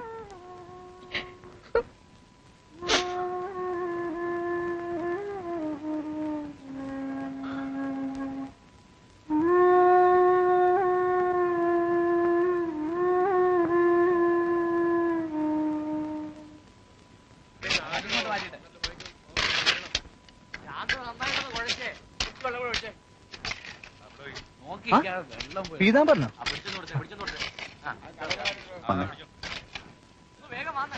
ബാങ്കിലെ കത്തല്ലേ? ഇരിക്കും കിട്ടി. പതിനഞ്ച് ദിവസത്തിനകം രൂപ അടച്ചില്ലെങ്കിൽ ജപ്തി ചെയ്യും. കോടതിയിൽ നിന്ന് വിധി പകർപ്പ് ബാങ്കിൽ കിട്ടിയിട്ടുണ്ട്. ഇനി അവർ കാത്തിരിക്കില്ല. എക്സിക്യൂഷൻ പെറ്റീഷൻ ഫയൽ ചെയ്ത് ജപ്തി നടപടി ആയി വരുമ്പോ എങ്ങനെയും മൂന്നാൽ മാസം എടുക്കും. അതിനും പഠിച്ചാ പോരെ? എങ്ങനെ അടയ്ക്കും? ഈ വീടിന്റെ പണി പഠിക്കാം. ഈ പണി നഷ്ടത്തിലായാലോ? ഏ അങ്ങനെ വരത്തില്ല. ആദ്യത്തെ ഒന്ന് രണ്ട് പണിക്ക് പരിചയക്കുറവുണ്ട് നഷ്ടം പറ്റിയെന്ന് വെച്ച് ഇത് ഒരിക്കലും അങ്ങനെ വരത്തില്ല. കിട്ടുന്ന കാശ് അങ്ങനെ തന്നെ ബാങ്കിൽ അടയ്ക്കാം. ആറ് മാസത്തിനുള്ളിൽ എടുത്തു തരാമെന്ന് അമ്മയോട് പറഞ്ഞ ആധാരം നിനക്ക് പണയം വെക്കാൻ തന്നത് വർഷം നാല് കഴിഞ്ഞു. കേസായി വിധിയായി. ഇതിനിടയിൽ ഒരു ഇൻസ്റ്റാൾമെന്റെങ്കിലും നീ അടച്ചിട്ടുണ്ടോ സുഗുണ? പറഞ്ഞ കാര്യങ്ങൾ തന്നെ പിന്നെയും പിന്നെയും പറഞ്ഞ് എന്തിനാ വായിൽ വെള്ളം പറ്റിക്കുന്നത് പീതാമ്പര പൈസ അടയ്ക്കാത്തതിന്റെ കാര്യം നിനക്കൂടി അറിയാവുന്നതല്ലേ? നിന്നോടും നിന്റെ അമ്മയോടും ബാങ്കിനോടും ഒക്കെ എപ്പോഴും ഇങ്ങനെ അവധി പറയുന്നത് എനിക്ക് അത്ര സുഖമായിരുന്നു വിചാരിച്ചു? നീ മനഃപൂർവം പൈസ അടക്കാത്താണ് നല്ല സുഗുണ ഞാൻ പറഞ്ഞത്. വീട്ടിലൊരു സ്വൈരമില്ല അമ്മയോട് പറഞ്ഞു മടുത്തു. നിനക്കറിയാലോ ആകെയുള്ളത് അൻപത് സെന്റ് സ്ഥലവും വീടുമാണ്. അതിന് തന്നെ ഞങ്ങൾ നാല് അവകാശികളാണ് അതുകൂടി ജപ്തി ചെയ്തുകൊണ്ട് പോയാൽ അങ്ങനെ സംഭവിക്കില്ല പീതാംബര. നിന്റെ വീടും പറമ്പും ജപ്തി കൊണ്ടുപോയ പിന്നെ ഞാൻ ജീവിച്ചിരിക്കണോ? നിന്റെ ജോലി നടക്കട്ടെ.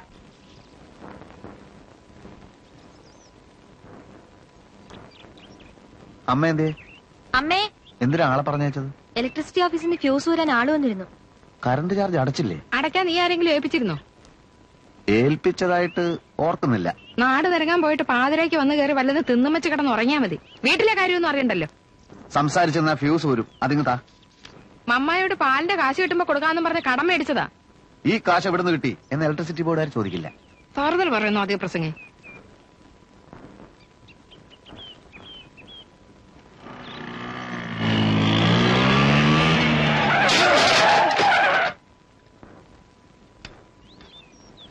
എന്താണ് സൂക്ഷിച്ചു ഓടിക്കൂടെ എവിടെ നോക്കിയാണ് ഓടിക്കുന്നത്? ഞാൻ റോഡിൽ നോക്കി തന്നെ ഓടിച്ചത്.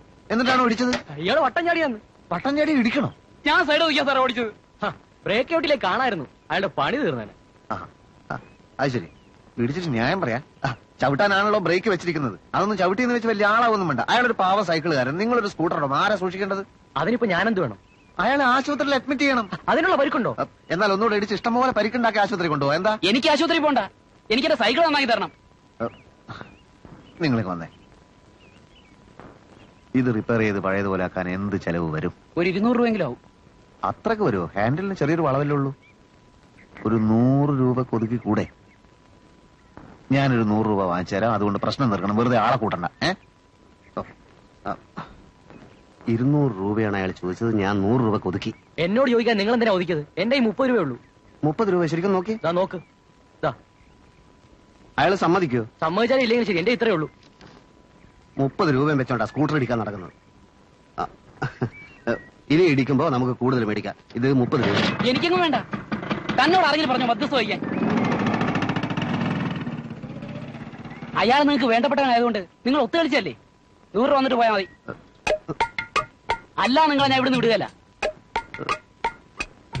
എന്റെ അമ്പത് രൂപയുണ്ട്. കറണ്ട് ചാർജ് അടക്കാൻ വേണ്ടി കൊണ്ടുവന്നതാ. ഇത് തന്നാൽ അപ്പൊ എൺപതല്ലേ ആയുള്ളൂ? ബാക്കി ഇരുപതോ? അല്ല അതിപ്പോ എവിടെ എത്തിക്കണ്ട വെച്ചാൽ എത്തിക്കാം. വേണ്ട ഞാൻ വീട്ടിൽ നിന്ന് വാങ്ങിച്ചോളാം. അതിന് വീടറിയോ? ആ വീടറി ആഹാ. ഒരു മാന്യം അമ്പത് രൂപയും കൊണ്ട് നടക്കുന്നു മധ്യസ്ഥത വയ്യ ഹലോ സാർ. അന്ന് വീട്ടിൽ വന്ന ആളല്ലേ? ഞാനോ? ഹേ നിങ്ങൾക്ക് ആൾ മാറിയതായിരിക്കും. ആൾ മാറിയിട്ടൊന്നുമില്ല ഈ ആൾ തന്നെ. പലർക്കും എന്നെ കാണുമ്പോ ഈ സംശയം തോന്നാറുണ്ട്. പ്രശ്നം എന്താണെന്നറിയോ? നെടുമുടിയിൽ എന്നെ പോലെ തന്നെ വേറൊരാളുണ്ട് എന്റെ അപരൻ. ഞാൻ നെടുമുടിയിലാണെന്ന് ആരാ പറഞ്ഞത്?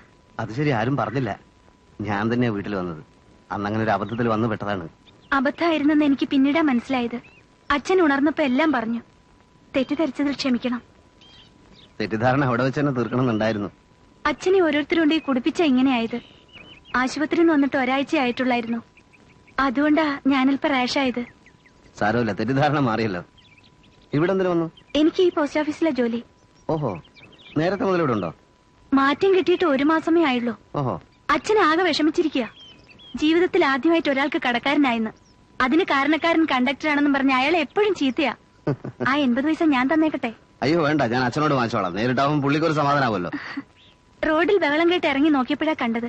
മധ്യസ്ഥത വഹിച്ച് കയ്യിലുള്ള കാശ് പോയല്ലേ ഞാൻ പോട്ടെ.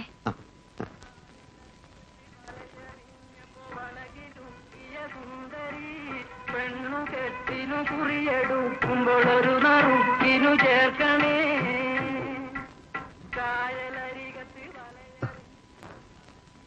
പെണ്ണ് കെട്ടിന് കുറിയെടുക്കുമ്പോൾ ഒരു നറുക്കിന് ചേർക്കണേ.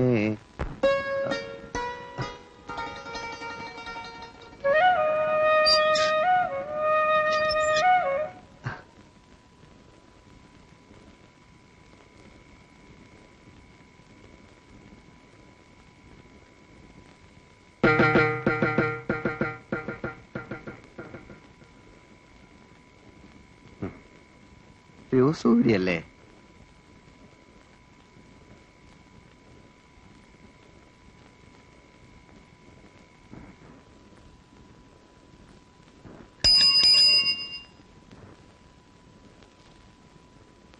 എനിക്കാണോ അമ്മ? എനിക്കാ. കോട്ടയത്ത് നിന്ന് കറിയാച്ചന്റെയാ നല്ലോണം നോക്കിയോ? എനിക്ക് ഇന്നും ഇല്ല എഴുത്ത്. ഇല്ല. ആളില്ലാത്ത മണിയാട് വല്ലതും ഉണ്ടോ? ഉണ്ട്. പക്ഷെ തന്തയില്ലാത്ത പിള്ളേർക്കെ കൊടുക്കൂ. എങ്കിൽ ആശാൻ തന്നെ അങ്ങ് എഴുതി എടുത്തോ കുവൈറ്റ് അടുത്ത് കളിക്കരുതേ. പോടാ പോടാ. യുദ്ധം കഴിഞ്ഞിട്ട് കുറെ മാസം ആയല്ലോ നിന്നെ തിരിച്ചു വിളിച്ചില്ലേ? അത് തന്നെ അമ്മ ഞാനും ആലോചിക്കുന്നത്. നിന്നെ പോലീസ് പിടിച്ച വിവരം അവരറിഞ്ഞിരിക്കും പോലീസുകാരെ പിടിക്കുന്നൊന്നും വലിയ കുറ്റമല്ല അമ്മ മഹാന്മാരെ എല്ലാം പോലീസ് പിടിച്ചിട്ടുണ്ട്. ഗാന്ധിജിയുടെ പല്ല് പോയത് എങ്ങനെയാണെന്ന് അമ്മയ്ക്ക് അറിയോ? പോലീസ് തൊഴിച്ചിട്ടാ. എന്നാൽ നീയും മഹാനാണെന്നും പറഞ്ഞിരുന്നോ? കുവൈറ്റിൽ നിന്ന് ഇന്ന് വിളിക്കും നാളെ വിളിക്കും പറഞ്ഞ് ചാരായം കുടിച്ച് വഴിനീളെ വഴക്കുണ്ടാക്കി നടന്നാ മതിയല്ലോ. ഇല്ലാത്ത കാശുണ്ടാക്കിയ ഞാൻ നിന്നെ കുവൈറ്റിൽ അയച്ചത്. എന്നിട്ട് പട്ടി ചന്തയ്ക്ക് പോയതുപോലെ പോയിട്ട് തിരിച്ചു പോന്നു. പിന്നെ ഞാൻ അവിടെ കിടന്ന് രാസായുധം വെച്ച് ചാകണമെന്നാണോ അമ്മ പറയുന്നത്? ചാകണ്ട നാട്ടിൽ എന്തെങ്കിലും ചെയ്തൂടെ? നാട്ടിൽ ചെയ്യുന്നു. ഇവിടെ പട്ടിണി കൂടാതെ ഒരു ദിവസം കഴിയണമെങ്കിൽ രൂപ അമ്പത് വേണം.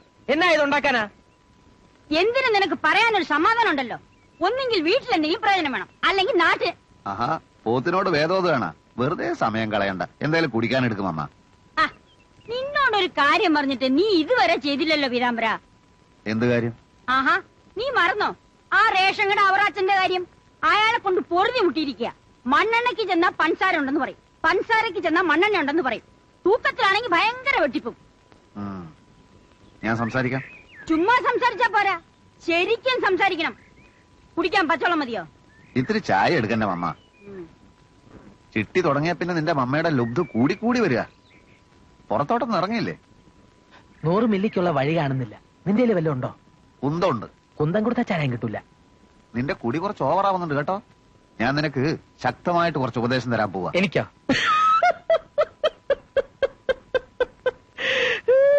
വല്ല ഉണ്ടെങ്കിൽ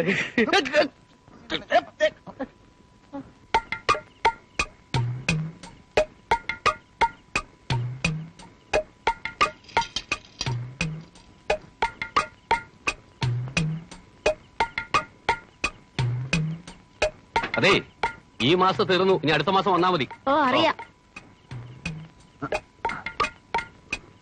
ആ പീതാംബരനോ ഞാൻ വന്നിട്ട് ഇതിന് നേരായി ആളൊഴിയട്ടെ നേരത്തെ ഇവിടെ മാറിയൊക്കെ ഉം, എന്താ? നമുക്ക് പുറത്തുനിന്ന് സംസാരിക്കാം. അല്ല പിരിവൊന്നുമല്ലോ ഏ അല്ല അല്ല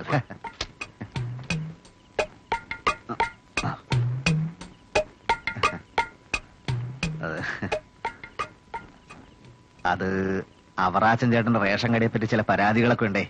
എന്ത് പരാതി? റേഷൻ ശരിയായിട്ട് കൊടുക്കുന്നില്ലെന്നോ തൂക്കത്തിൽ കുറവാണെന്നോ എന്നൊക്കെ. സപ്ലൈ ഓഫീസിലാണോ പീതാംബരം ഇപ്പൊ ജോലി ചെയ്യുന്നത് അല്ല ഈ റേഷൻ കട പറ്റിയിട്ടുള്ള പരാതികളൊക്കെ അന്വേഷിക്കുന്നത് അവരാണേ. അത് ശരിയാ. പക്ഷെ അവിടെ പോവാതെ ഇവിടെ വെച്ച് തന്നെ പ്രശ്നം പരിഹരിക്കാൻ പറ്റിയാൽ. റേഷൻ കടയുടെ അർത്ഥം എന്താ പീതാംബര? റേഷൻ കട. അല്ല തെറ്റി. റേഷൻ കടയുടെ ശരിയായ അർത്ഥം പരാതിക്കടാണ്. എങ്ങനെയൊക്കെ വാരിക്കൂരി കൊടുത്താലും വിവിധങ്ങൾക്ക് പരാതിയാ. എന്നെ സംബന്ധിച്ചിടത്തോളം റേഷൻ കട എങ്ങനെ നടത്താൻ പറ്റും. അവറാച്ചൻ ചേട്ടൻ തെറ്റിദ്ധരിക്കരുത്. എന്റെ വീട്ടിൽ വന്ന ആളുകൾ പരാതി പറയുമ്പോ എങ്ങനെ? അല്ല വീട്ടിൽ വന്ന ആളുകൾ പരാതി പറയുമ്പോ നാട്ടുകാരുടെ പരാതി മുഴുവൻ കേൾക്കാൻ തന്റെ വീടെന്താ കോടതിയാ? ആക്ഷേപമുള്ള തണ്ടികൾ നേരിട്ട് വരട്ടെ. അല്ലാതെ ചുമ്മാ വക്കാലത്തുമായിട്ട് വരുന്ന പട്ടികളോട് സംസാരിക്കാൻ എനിക്ക് മനസ്സില്ല. ആ ആ ആ പോയി.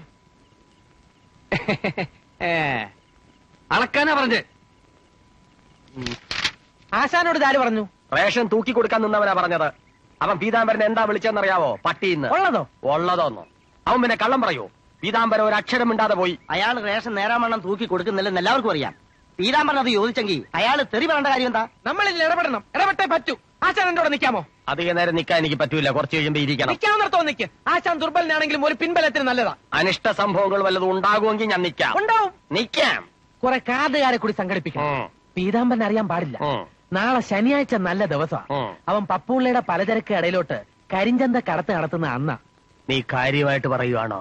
തമാശ പറയാൻ ഞാനെന്താ? ചാർലി ചാപ്ലിനോ?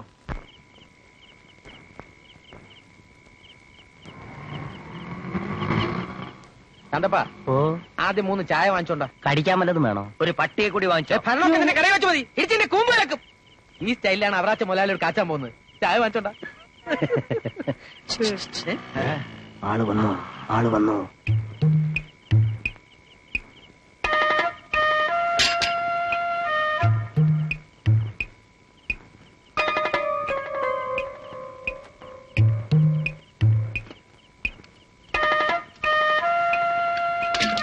ഇതെങ്ങോട്ട് കൊണ്ടുപോവാ വീട്ടിലേക്ക്. ഒരു ചാക്കരി വേവിച്ചിന്ന തന്റെ വീട്ടിലെന്താ? ആനയുണ്ടോ?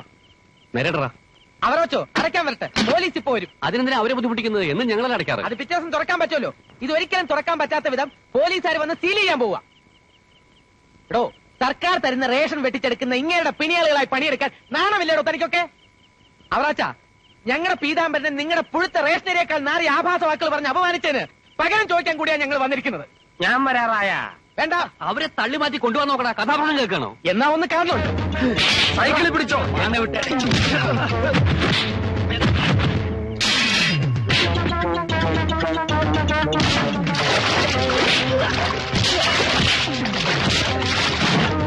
എല്ലാത്തിനും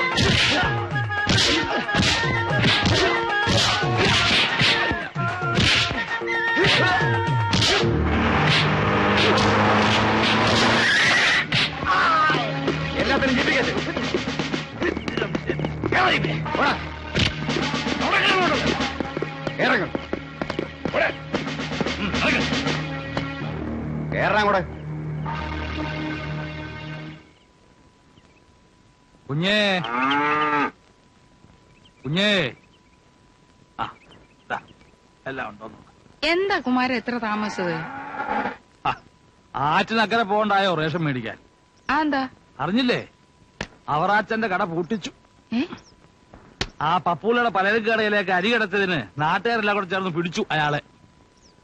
ഇവിടുത്തെ കുഞ്ഞാ അതിന്റെ പുറകിലെന്നാ അങ്ങാടി പറയണ കേട്ടത്. അങ്ങനെ ഒരു നല്ല കാര്യങ്ങളും ചെയ്തല്ലോ. നീ പോയി ആ ചായയുടെ വെള്ളം നിറച്ചു നോക്കിയേ. ഞാൻ പറഞ്ഞ കാര്യം എന്തായി കുമാര? വല്യടത്തെ കുഞ്ഞിനെ കണ്ടവന്റെ കൂടെ ഇറക്കി വിടാൻ പറ്റുമോ തിരക്കുന്നുണ്ട്. എനിക്ക് ഒരു സമാധാനമില്ല കുമാരൻ. കുമാര ഓരോ ദിവസം കഴിയുന്തോറും അങ്ങ് ആദ്യ. ഒരുത്തിയെങ്കിലും ഇറക്കി വിടാൻ പറ്റിയിരുന്നെങ്കിൽ അത്ര ഒരു ആച്ചു കിട്ടിയേനെ. തെല്ലാളന്മാരോട് മനഃപൂർവം പറയാഞ്ഞിട്ടാ. സ്ത്രീധനം കൊടുക്കാനില്ലാത്ത സ്ഥിതിക്ക് അവരിടപെടുവോ? ഇവിടെ ആണൊരുത്തനുള്ളവൻ അതൊന്നും അന്വേഷിക്കാൻ നേരമില്ലല്ലോ. സമയത്തിന്റെ ഒക്കെ ചൊവ്വായിക്കോളും. നാളത്തേടം കഴിഞ്ഞ് ഞാൻ ഒരിടം വരെ പോണുണ്ട്. അത് ശരിയാവും എന്നാ മനസ്സ് പറയണേ. തായില്ലാമേ ഞാനില്ലേ. താനേ എവരും പിറന്നതില്ലേ. എനിക്കൊരു തായ് ഇരിക്കിൻറായ്. ഞാനാ മടന്ത മതി അങ്ങനെ മടന്നണ്ട ഇനി നിന്നെ ഈ പരിസരത്ത് കണ്ട നിന്റെ കാലി ഞാൻ തല്ലുപിടിക്കും മടന്ത മുടന്തയാവും പീതാംബരചേട്ടൻ പറഞ്ഞിട്ടേ അവറാച്ച മോനാളി സമ്മതിച്ചതല്ലേ ചെത്തിക്കോളായി ഓ പറഞ്ഞ അങ്ങോട്ട് എടുത്തു. ആ സേവനാമനോട് പറഞ്ഞേക്ക് പാമ്പിനെയാണ് നോവിച്ചു വിട്ടിരിക്കുന്നത്. എന്നെ കട പൂട്ടിച്ചേനെ അവന്റെ കുടുംബം ഞാൻ കുളന്തോണ്ടും അവനോട് കരുതിയെന്നോളം പറ. ആ പോ പോ പോ.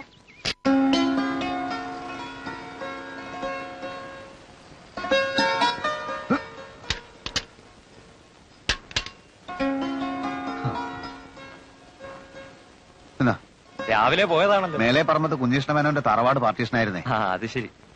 എന്റെ കപ്പലണ്ടി മുട്ടായി. പീതാംബരൻ ചേട്ടാ. പന്ത് കുളം. പോടാ.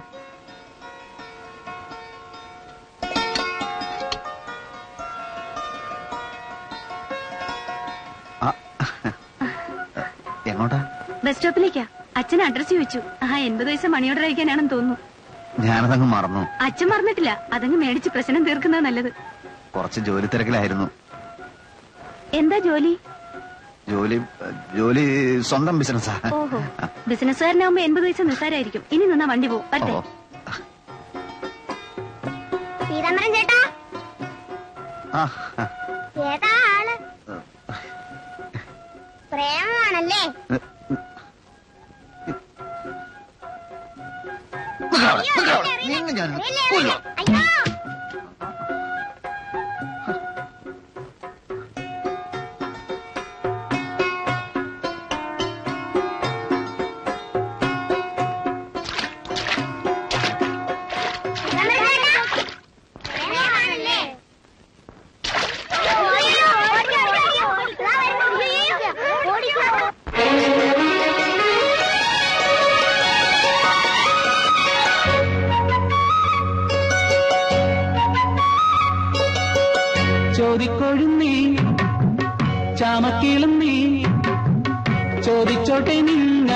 നിങ്ങടങ്ങിലെ പാതോതി പാലടക്ക പാലടയ്ക്ക പൈങ്കിളികൾ പാടും മാമര ചില്ലയുന്നിൽ.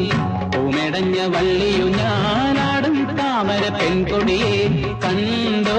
കാട്ടു ചെമ്പക ചെന്തോടൊത്തവളെ ഉണ്ടോ പൂങ്കവിളി ചന്ദന കുങ്കുമ ചന്ദമ ചന്തമെല്ലാം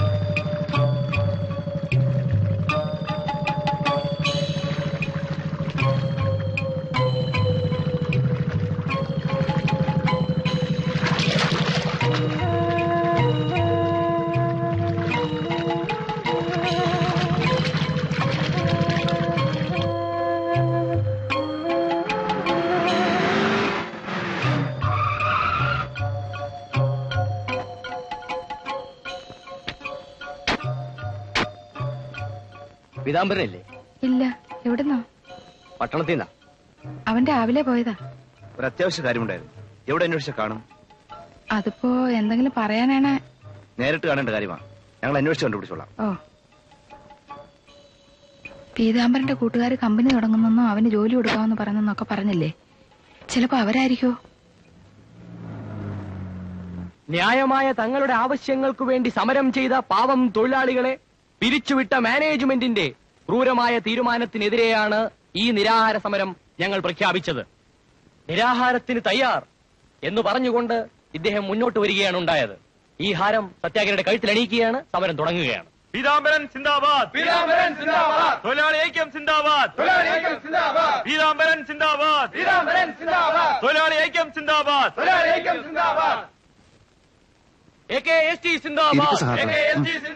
തൊഴിലാളി ഐക്യം സിന്ദാബാദ്. തൊഴിലാളി ഐക്യം സിന്ദാബാദ്. മാനേജ്മെന്റ് നീതി പാലിക്കുക. മാനേജ്മെന്റ് നീതി പാലിക്കുക. തൊഴിൽ സ്ഥിരത ഉറപ്പുവരുത്തുക. നിർത്ത നിർത്ത. അവകാശങ്ങൾ നേടിയെടുക്കാൻ അവകാശങ്ങൾ നേടിയെടുക്കാൻ വിജയം വരെ സമരം ചെയ്യും. വിജയം വരെ സമരം ചെയ്യും. തന്നേ തീരൂ തന്നേ തീരൂ. തന്നേ തീരൂ തന്നേ എന്തോ നാടാ പീതാംബര ഇതൊക്കെ? പാവം തൊഴിലാളികൾ ഇവർക്ക് ആരുമില്ല. ഒരു അഞ്ചാറ് ദിവസത്തേക്ക് ഒരു നിരാഹാര സത്യാഗ്രഹം. നിനക്ക് ഭ്രാന്ത. പട്ടിണി കിടക്കാൻ നിന്റെ വീട്ടിൽ ഇഷ്ടം പോലെ സൗകര്യം ഉണ്ടല്ലോ. തിരാമര വന്നേ. കുറച്ച് പാർട്ടി തന്നെ കാണാൻ വന്നിരിക്കുക ഇവിടെ നിന്ന് എഴുന്നേക്കാൻ പറ്റില്ല. നിരാഹാര സമരം ഇപ്പൊ തുടങ്ങിയതേ ഉള്ളൂ. ഇപ്പൊ വിട്ടേക്ക് ആശാനെ. ഉടനെ വരാം. ഞാൻ ഭക്ഷണമൊന്നും കഴിക്കില്ല. കണ്ടാ വന്നത്? നിങ്ങൾ ഒരു മിനിറ്റ് അവിടെ വാ ഒരു കാര്യം പറയാനുണ്ട്. അത്യാവശ്യ കാര്യമാണ്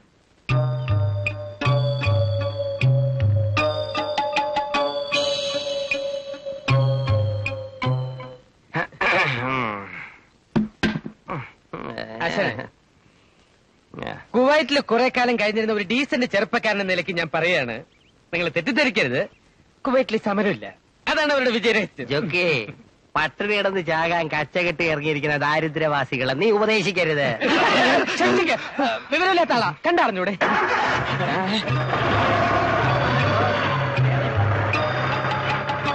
അക്ഷരം പറയാതെ കൊണ്ടുപോക്കണമെന്നല്ലോ അയ്യോ. അവറാച്ചന്റെ ആൾക്കാരോ മറ്റോ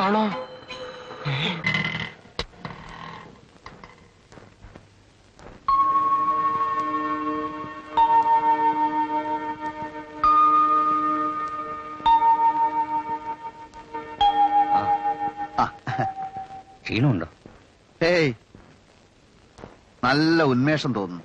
ചെറുപ്പം മുതലേ എന്റെ ശരീരത്തിൽ രക്തം കുറച്ച് കൂടുതലാ. പലപ്പോഴും ഇങ്ങനെ എടുക്കുന്നത് ഒരു കണക്കിന് നല്ലതാ. ഓ അമ്മേ. എന്താ? ഒന്നുമില്ല. അമ്മേ. ഒന്ന് കിടക്കണോ? ഒരാവശ്യമില്ല പീതാംബരം വന്നില്ലായിരുന്നെങ്കിൽ ഞങ്ങൾക്ക് വിഷമിച്ചു പോയേനെ. വളരെ റെയർ ഗ്രൂപ്പാണല്ലോ എ ബി നെഗറ്റീവ് പത്രത്തിൽ പരസ്യം ചെയ്തതാ. ഒരാളും റെസ്പോണ്ട് ചെയ്തില്ല. ഞാൻ ആ പരസ്യം കണ്ടില്ല. കണ്ടിരുന്നേലും ഞാൻ അപ്പൊ തന്നെ ഇങ്ങ് വന്നേനെ. എന്റെ ബ്ലഡ് എ ബി നെഗറ്റീവ് ആണെന്ന് എങ്ങനെ അറിഞ്ഞു? ബ്ലഡ് ബാങ്കിൽ പീതാംബരൻ പേര് രജിസ്റ്റർ ചെയ്തിരുന്നില്ലേ? ഓ അങ്ങനെയാണല്ലേ. രജിസ്റ്റർ ചെയ്തിരുന്നെങ്കിലും ആദ്യമായിട്ട് ആ ഒരാളിന്റെ രക്തം ആവശ്യപ്പെട്ട് വരുന്നത്. ഞാൻ എന്റെ കണ്ണും ഡൊണേറ്റ് ചെയ്യാൻ ഏർപ്പാട് ചെയ്തിരിക്കുക മരിച്ചതിന് ശേഷം. നമുക്ക് ഇതൊക്കെയല്ലേ ചെയ്യാൻ പറ്റൂ സാറേ? കുട്ടി എവിടെയാ കിടക്കുന്നത്? ഒന്ന് കാണണം.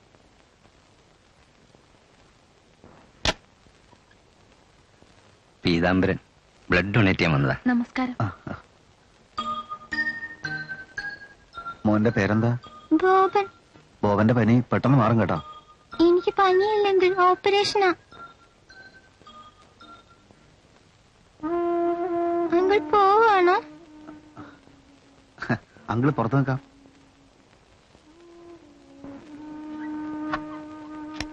ഒരുപാട് ലേറ്റ് ആകുന്നതിന് മുമ്പ് ഇദ്ദേഹത്തെ വീട്ടിലെത്തിക്കണം. അല്ല എന്നാ മോന്റെ ഓപ്പറേഷൻ? മറ്റന്നാൾ. മോന്റെ ഓപ്പറേഷൻ കഴിയാതെ പോയാൽ എനിക്ക് എനിക്കൊരു സമാധാനം ഉണ്ടാവില്ല. രണ്ടു ദിവസം കഴിഞ്ഞിട്ട് പോയാൽ പോരെ എന്ന് ഞാൻ ആലോചിക്കുകയാണ്. ഞങ്ങൾക്ക് സന്തോഷമേ ഉള്ളൂ. തൊട്ടടുത്തുള്ള മുറിയെടുത്തിട്ടുണ്ട് നമുക്ക് അവിടെ കൂടാം. ആ,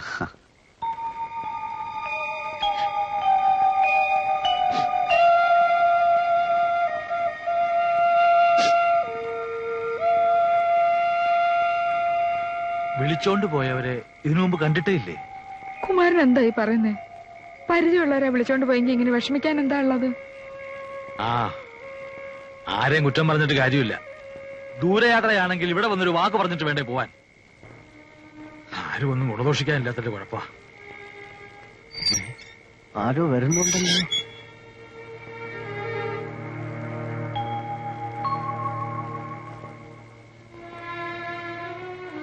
കണ്ടോ? ഇല്ല. എവിടൊക്കെ തിരക്കി? പീതാംബന്റെ പരിചയക്കാരോടെല്ലാം അന്വേഷിച്ചു. അവിടെ അങ്ങ് ചെന്നിട്ടില്ല. അധ്യക്ഷൻ അച്യുത നായരെ കൊണ്ട് ഒരു പെറ്റീഷൻ എഴുതി പോലീസ് സ്റ്റേഷനിൽ കൊടുത്തു. കാറിന്റെ നമ്പർ വെച്ച് പെട്ടെന്ന് കണ്ടുപിടിക്കാൻ പറ്റുന്ന തോന്നുന്നു പക്ഷെ നമ്പർ ആരും നോട്ട് ചെയ്തില്ല. അവരുടെ കൂടെ ഇന്ന ഇടത്തേക്കാണ് പോകുന്നതെന്ന് പീതാംബരൻ ഒരു വാക്ക് എന്നോട് പറഞ്ഞിരുന്നെങ്കിൽ ഞാൻ നമ്പർ നോട്ട് ചെയ്തേ.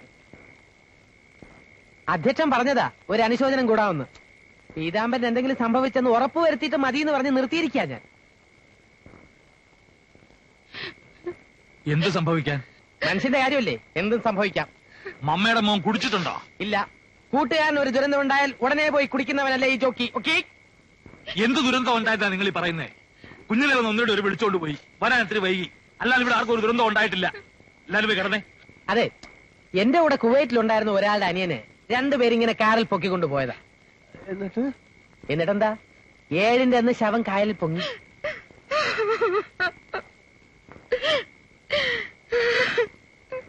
ഇയാളൊന്ന് പോയേ. അല്ല പേടിക്കാനൊന്നുമില്ല. പീതാമ്പനെ കാണാതായിട്ട് രണ്ടു ദിവസമല്ലേ ആയുള്ളൂ.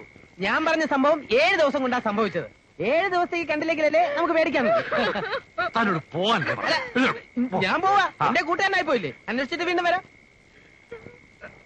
അയാൾ കുടിച്ച് വെളിവില്ലാതെ ഓരോന്ന് പറയുക. നിങ്ങൾ പോയി കിടന്നാട്ടെ. നേരം വെളുക്കുമ്പോഴേക്കും കുഞ്ഞുങ്ങെത്തും. അതെ.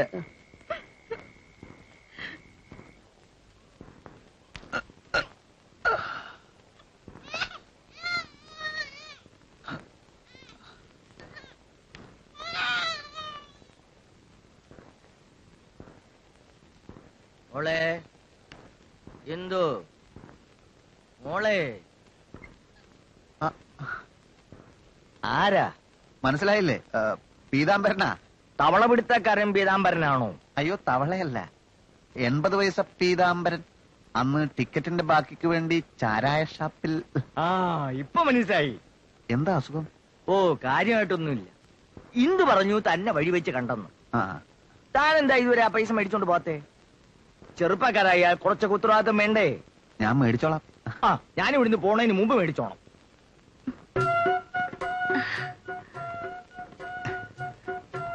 ഇവിടെ എങ്ങനെ എത്തി? ഞാൻ ആ പതിനാറിലെ കുട്ടിയെ കാണാൻ വന്നതാ. ആ ഓപ്പറേഷൻ കേസല്ലേ? ആരത്? ബന്ധല്ല എന്റെ ബ്ലഡ് ഗ്രൂപ്പും ആ കുട്ടിയുടെ ബ്ലഡ് ഗ്രൂപ്പും ഒന്നാ. എന്റെ ശരീരത്തിൽ കുറച്ച് കൂടുതൽ രക്തമുണ്ടേ കുറച്ച് കൊടുക്കാന്ന് വിചാരിച്ചു. മൂപ്പർക്ക് എന്താ അസുഖം? കണ്ണ് തെറ്റിയ കള്ളുഷാപ്പില. ഒരു തുള്ളി കുടിക്കരുതെന്നാ ഡോക്ടർ പറഞ്ഞിരിക്കുന്നത്. ഡോക്ടർമാർക്ക് എന്താ പറയാൻ വയ്യാത്തേ? നിന്റെ ഈ ചില്ലറ ഉണ്ടെങ്കിൽ ഒരു എൺപത് പൈസ പീതാംബരന് കൊടുത്തേ. ഞാൻ കൊടുത്തോളാം. അച്ഛൻ അതോർത്ത് വിഷമിക്കണ്ട. അപ്പോ ഞാൻ ഇറങ്ങാം. ചായ കുടിക്കാം. കുടിച്ചു. ആ പിന്നെ എന്റെ blood group A B negative ആണ്. ആവശ്യമുണ്ടെന്ന് പറയണം. ബോബന്റെ ഓപ്പറേഷൻ കഴിയുന്നവരെ ഞാൻ അപ്പുറത്ത് കാണും. പുറത്തു പോകാനോ മറ്റുണ്ടെങ്കിൽ എന്നോട് പറഞ്ഞാൽ മതി. വരട്ടെ? ശരി.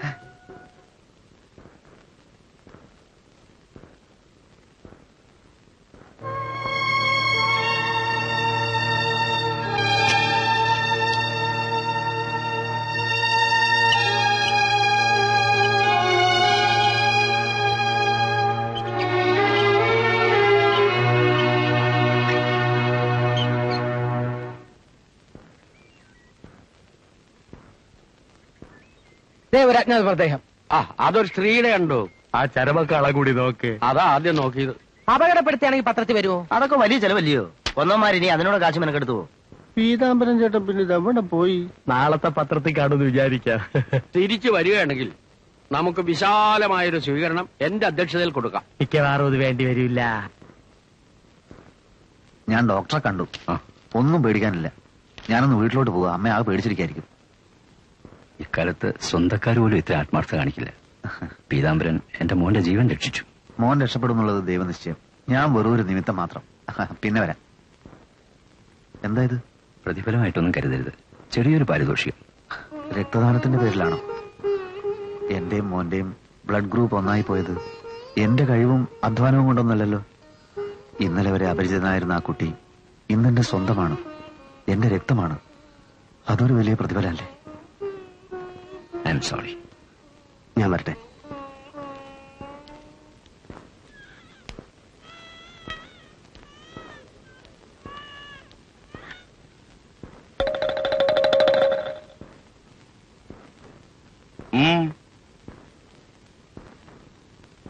എന്തോ?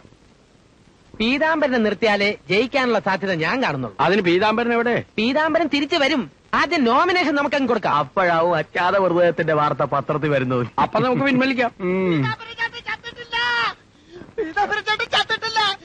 ജീവനോടെ വരുന്നത്.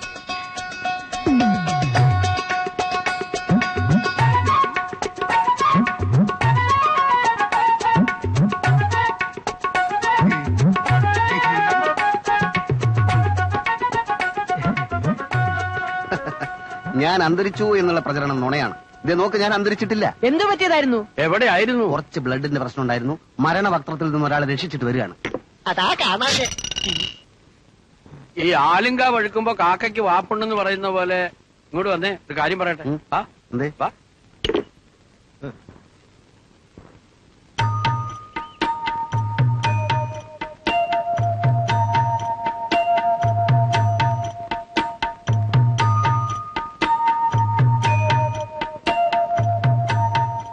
എന്നാത്തിനാ ഇത്രയും ആലോചിക്കുന്നേ?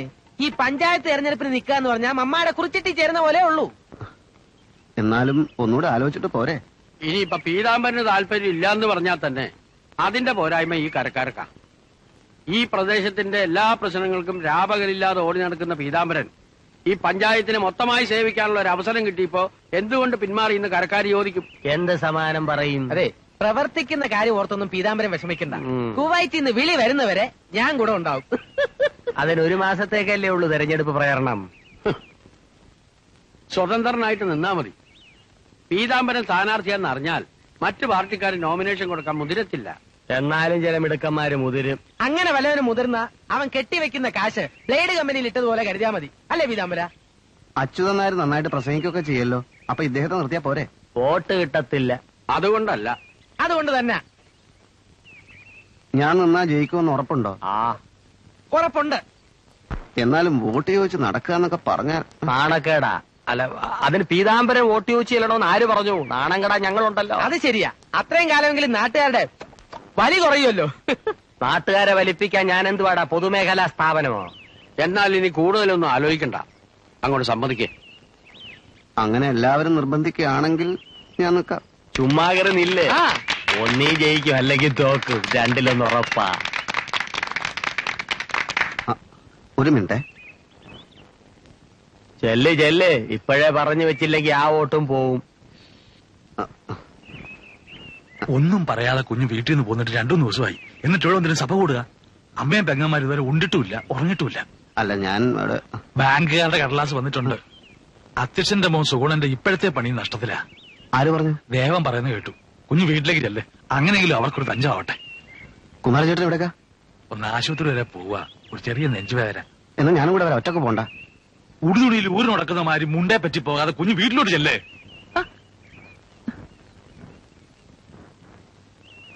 മൂന്നാൽ ദിവസമായിട്ട് ബാക്കിയുള്ളവരോട് എങ്ങനെയാ കഴിഞ്ഞെന്ന് നീ അറിഞ്ഞോ? തീ തിന്നായിരുന്നു വീട്ടിലോട്ട് കയറി വന്നതോ പുതിയൊരു ഏടാകൂടായിട്ട് എന്താ നിന്റെ ഭാവം? ഞാൻ അവർക്ക് വാക്ക് കൊടുത്തു. കൊടുത്തെങ്കിൽ അവങ്ങ് തിരിച്ചെടുത്തേക്ക്.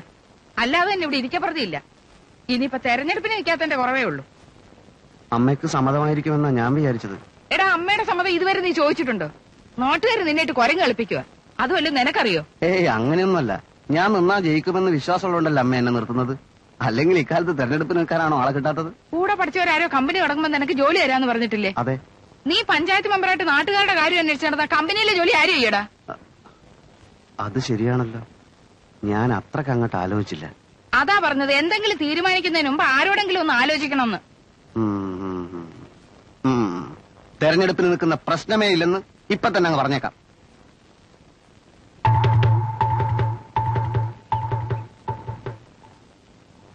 അ, മറുപടി ഒന്നും പറയാതെ പോയാലെങ്ങനെ? വലിയടുത്ത് കേശവൻ നായർക്ക് ഒരൊറ്റ ഒറ്റ വാക്കേ ഉണ്ടായിരുന്നുള്ളൂ. തല പോയാലും കേശവൻ നായർ അതിൽ ഉറച്ചു നിൽക്കുമായിരുന്നു.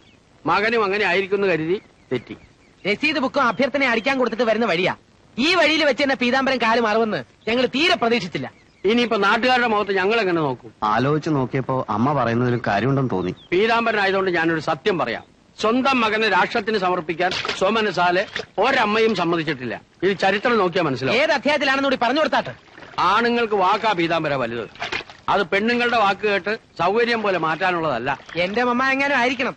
എന്നെ ഉന്തി തള്ളി ഇറക്കിയന് പഞ്ചായത്ത് മെമ്പറായെന്ന് കരുതി വേറെ ജോലിക്കൊന്നും പോകാൻ പാടില്ല എന്ന് കാർത്തിയാനിയമ്മ പറഞ്ഞത്. ലോകപരിചയമില്ലാത്തതുകൊണ്ടാ. ഹ, വെള്ളക്കാരെ ഓടിക്കാൻ നടന്നതിനിടയിലും ഗാന്ധിജി നൂലുണ്ടാക്കിയില്ലേ? അങ്ങനെ പറഞ്ഞോട് അപ്പോ നിക്കല്ലേ? ഇത്ര ആലോചിക്കാൻ എന്തിരിക്കണു? നല്ല നല്ല പിള്ളേകളെ നന്ദി. ഇന്ന്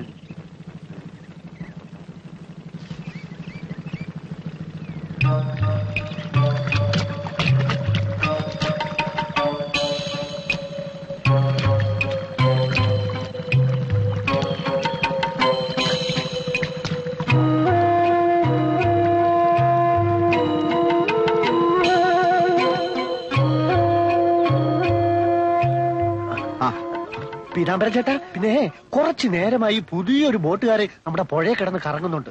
അറവാച്ചന്റെ ആളാണ് എനിക്ക് തോന്നുന്നത് ആ പിന്നെ വേറൊരു കാര്യം അറിഞ്ഞ. അറവാച്ചന്റെ മോൻ സ്ഥാനാർത്ഥി. ആര് പറഞ്ഞു? അസനാരിക്ക. പിന്നെ വേറെ ഒത്തിരി രണ്ടു മൂന്ന് പേരുടെ നിൽക്കുന്നുണ്ടെന്ന്. അധ്യക്ഷൻ പറഞ്ഞത് വേറെ ആരും നിൽക്കുന്നില്ലെന്നാണല്ലോ. ഒരു പൊതു തിരഞ്ഞെടുപ്പ് ആവുമ്പോ വേറെ ആരും കേറി നിൽക്കരുത് എന്ന് പറയുന്നത് മര്യാദകേടാ. ദേ ഇതിലോട്ട് തട്ടിയാട്ടെ പോകട്ടെ.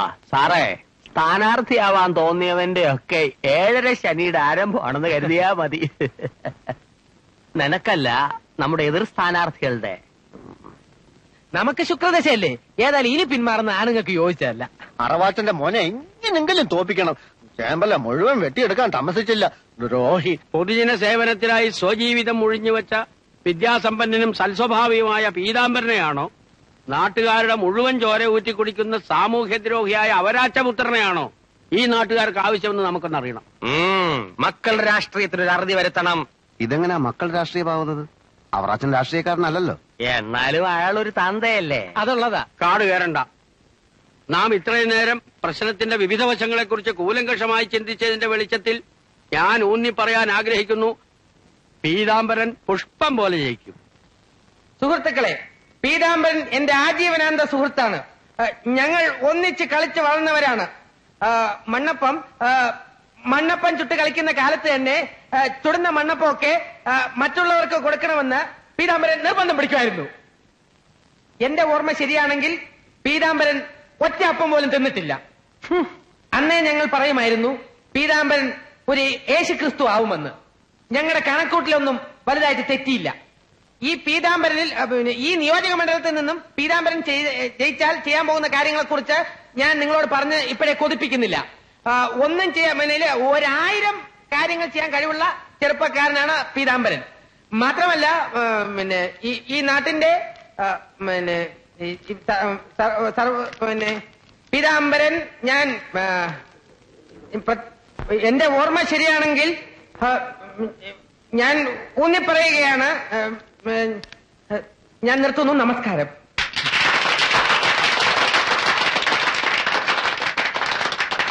ഈ തിരഞ്ഞെടുപ്പ് മഹാസമ്മേളനത്തിന്റെ അധ്യക്ഷൻ എന്ന നിലയ്ക്ക് എനിക്ക് നിങ്ങളോട് കൂടുതലൊന്നും പറയാനില്ല.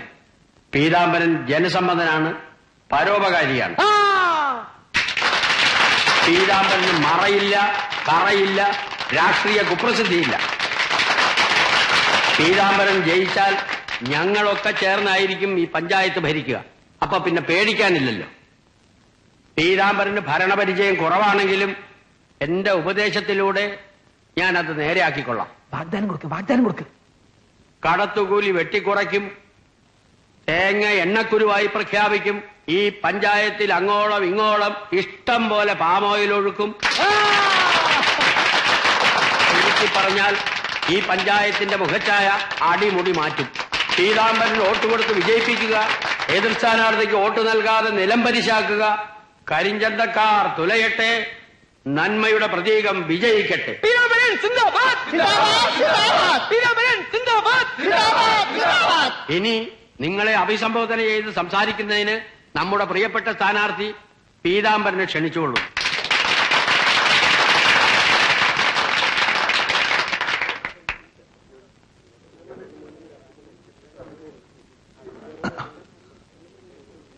പ്രിയപ്പെട്ട സുഹൃത്തുക്കളെ ഇവിടെ പറഞ്ഞ വിശേഷണങ്ങൾ എനിക്കിണങ്ങുമെന്ന് തോന്നുന്നില്ല. സാമൂഹ്യ സേവനം നടത്താൻ സ്ഥാനമാനങ്ങളുടെ ആവശ്യമില്ല. എന്റെ സുഹൃത്തുക്കളുടെ നിർബന്ധത്തിന് വഴങ്ങിയാണ് ഞാൻ ഈ മത്സരത്തിന് തയ്യാറായത്. സമ്മതിദാന അവകാശം വിനിയോഗിക്കുക എന്നുള്ളത് ഒരു വ്യക്തിയുടെ മാത്രം അവകാശമാണ്. സ്വതന്ത്രമായി മാത്രം അത് വിനിയോഗിക്കുക പരപ്രേരണക്ക് വിധേയമായിട്ടല്ല നമ്മൾ വോട്ട് ചെയ്യേണ്ടത്. അതുകൊണ്ട് എനിക്കാണോ എന്റെ എതിർ സ്ഥാനാർത്ഥിക്കാണോ വോട്ട് ചെയ്യേണ്ടത് എന്ന് നിങ്ങൾ നല്ലതുപോലെ ആലോചിച്ച് തീരുമാനിച്ചാൽ മതി സുഹൃത്തുക്കളെ. ഞാൻ തോറ്റുപോയാലും നിങ്ങളോടുള്ള എന്റെ സമീപനം പഴയതുപോലെ തന്നെ ആയിരിക്കും. നന്ദി നമസ്കാരം.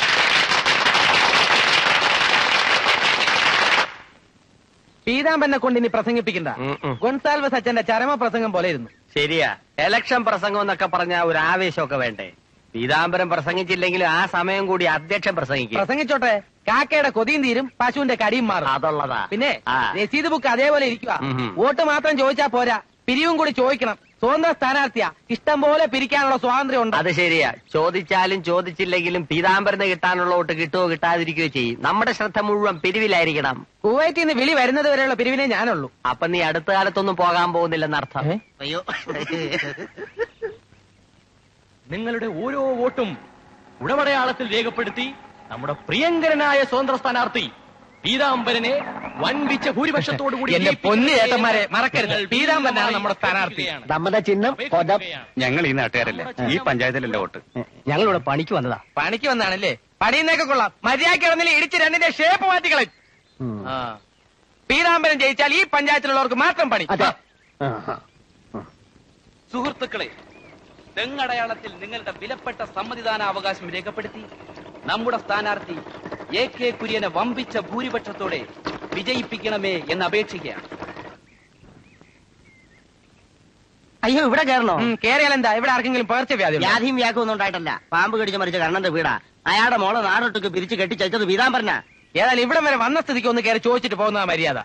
എന്നാ കയറാം. ഇവിടെ ആരുമില്ലേ? ചേച്ചി? അമ്മച്ചി? പീതാംബരന്റെ വോട്ട് ചോദിച്ച് ഇറങ്ങിയ കൂട്ടത്തിൽ ഒന്ന് കയറിയെന്നേ ഉള്ളൂ. നമ്മുടെ ചിഹ്നം കൊതവാണ് പീതാമ്പനെ കുറിച്ച് പ്രത്യേകിച്ച് പറയേണ്ട കാര്യമൊന്നുമില്ലല്ലോ. അയ്യോ അത് പിന്നെ പറയണോ? പീതാംബരനെ ആർക്കാ അറിയാത്തത്? അവൻ നല്ലവനാ ഉപകാരിയാ. തന്തയില്ലാത്ത എന്റെ മോളെ ഇറക്കി വിട്ടത് അവന്റെ മിടുക്കൊണ്ടാ പക്ഷെ ഒന്നും തോന്നരുത്. വോട്ട് ഞങ്ങൾ പാർട്ടിക്കേ ചെയ്യൂ. അമ്മച്ചിയാണ് പെണ്ണ്. ഒരു മിനിറ്റ് ഇരുന്നാട്ടെ. മനസ്സിൽ ഒന്ന് വെച്ചിട്ട് പുറത്ത് വേറൊന്ന് പറഞ്ഞില്ലല്ലോ. അമ്മച്ചി ഇനി കെട്ടിച്ചേക്കാൻ പെമ്മക്കൾ വേറെ വല്ലതും ഉണ്ടോ? ഒന്നുകൂടി ഉണ്ട് മോനെ. അതിന് ആരുടെയും കൂടെ അയച്ചു കളയല്ലേ? അതെന്താ? പാർട്ടി വരും കെട്ടാൻ. അങ്ങനെ ഇപ്പൊ വായിക്കണ്ട. നന്ദിയില്ലാത്ത എന്താടാ? വിളിക്കുന്നു. ആര്? വന്നു നോക്ക.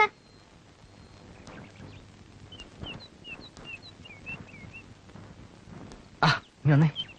അമ്മ ആളെ പറഞ്ഞയച്ചിട്ടും ഞാൻ മനഃപൂർവം വരാഞ്ഞതാ. ഞാൻ ബാങ്കിൽ പോയി. ഒരു രണ്ടു മാസത്തേക്ക് അവർ ആക്ഷൻ ഒന്നും എടുക്കില്ല ഞാൻ കുറച്ച് പൈസ അഡ്ജസ്റ്റ് ചെയ്യാൻ വേണ്ടി ഓടി നടക്കുക. ദേവൻ കുറച്ച് രൂപ പി എഫ് എടുത്തരും ആ പിന്നെ ഒരു ലോണിന്റെ കാര്യം ഞാൻ ശരിയാക്കിയിട്ടുണ്ട്. രണ്ട് ജാമ്യക്കാർ വേണം. ഒന്ന് ദേവൻ നിൽക്കും പിന്നെ ഒരാളെ ഞാൻ ശരിയാക്കിയിട്ടുണ്ട്. അയാൾ ചാടി പോകാതിരുന്നാ മതി. ഏത് സമയത്താണോ നിന്റെ കയ്യിൽ നിന്ന് ആധാരം എടുത്ത് വെക്കാൻ തോന്നിയത്? ആ നീ ഒരു കാര്യം ചെയ്യണം. രണ്ടു മാസത്തിനുള്ളിൽ പൈസ അടയ്ക്കാമെന്ന് മാനേജർക്കൊന്ന് എഴുതണം. അല്ല ഒരു ഉറപ്പായിക്കോട്ടെ. പോസ്റ്റലായിട്ട് അയച്ചാൽ മതി. ഇന്ന് തന്നെ അയക്കണം. ഇലക്ഷൻ ഞാൻ ഒന്ന് ദിവസം ഇറങ്ങാം. പല കാര്യമായിട്ട് ഓടി നടക്കുന്നുണ്ടാ. നീ ഒരുപാട് ബുദ്ധിമുട്ടുന്നുണ്ടെന്ന് എനിക്കറിയാം. അതൊന്നും സാരമില്ല. എത്രയും പെട്ടെന്ന് ഇതിന് പോമഴ ഉണ്ടാക്കണം. അത്രേ ഉള്ളൂ. അപ്പൊ ഞാൻ പോട്ടെ.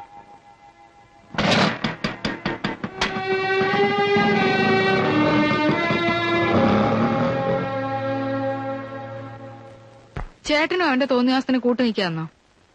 കൂട്ടു നിൽക്കുന്നതല്ല. അവൻ വന്നൊരു കാര്യം പറഞ്ഞാൽ എങ്ങനെയാ ചെയ്യാതിരിക്കുക? പൊതുപ്രവർത്തകൻ എന്ന നിലയിൽ അവനൊരു അംഗീകാരം കിട്ടിയെന്ന് പറഞ്ഞാൽ വലിയൊരു കാര്യമല്ലേ? അവനൊരു കര പറ്റുന്നെങ്കിൽ എല്ലാവർക്കും ഒരു ആച്ചല്ലേ നീ അത് അവനങ്ങ് കൊടുത്തേരെ. എണ്ണായിരം രൂപയുണ്ട്. പിള്ളേരുടെ കാതിലെയും കഴുത്തിലെയും പൊട്ടും പിടിയും പെറുക്കി പണയം വെച്ചതാ. ഏതായാലും അവൻ വരുമ്പോ നീ പറഞ്ഞാൽ ഞാൻ വന്നേച്ചു പോയെന്ന്.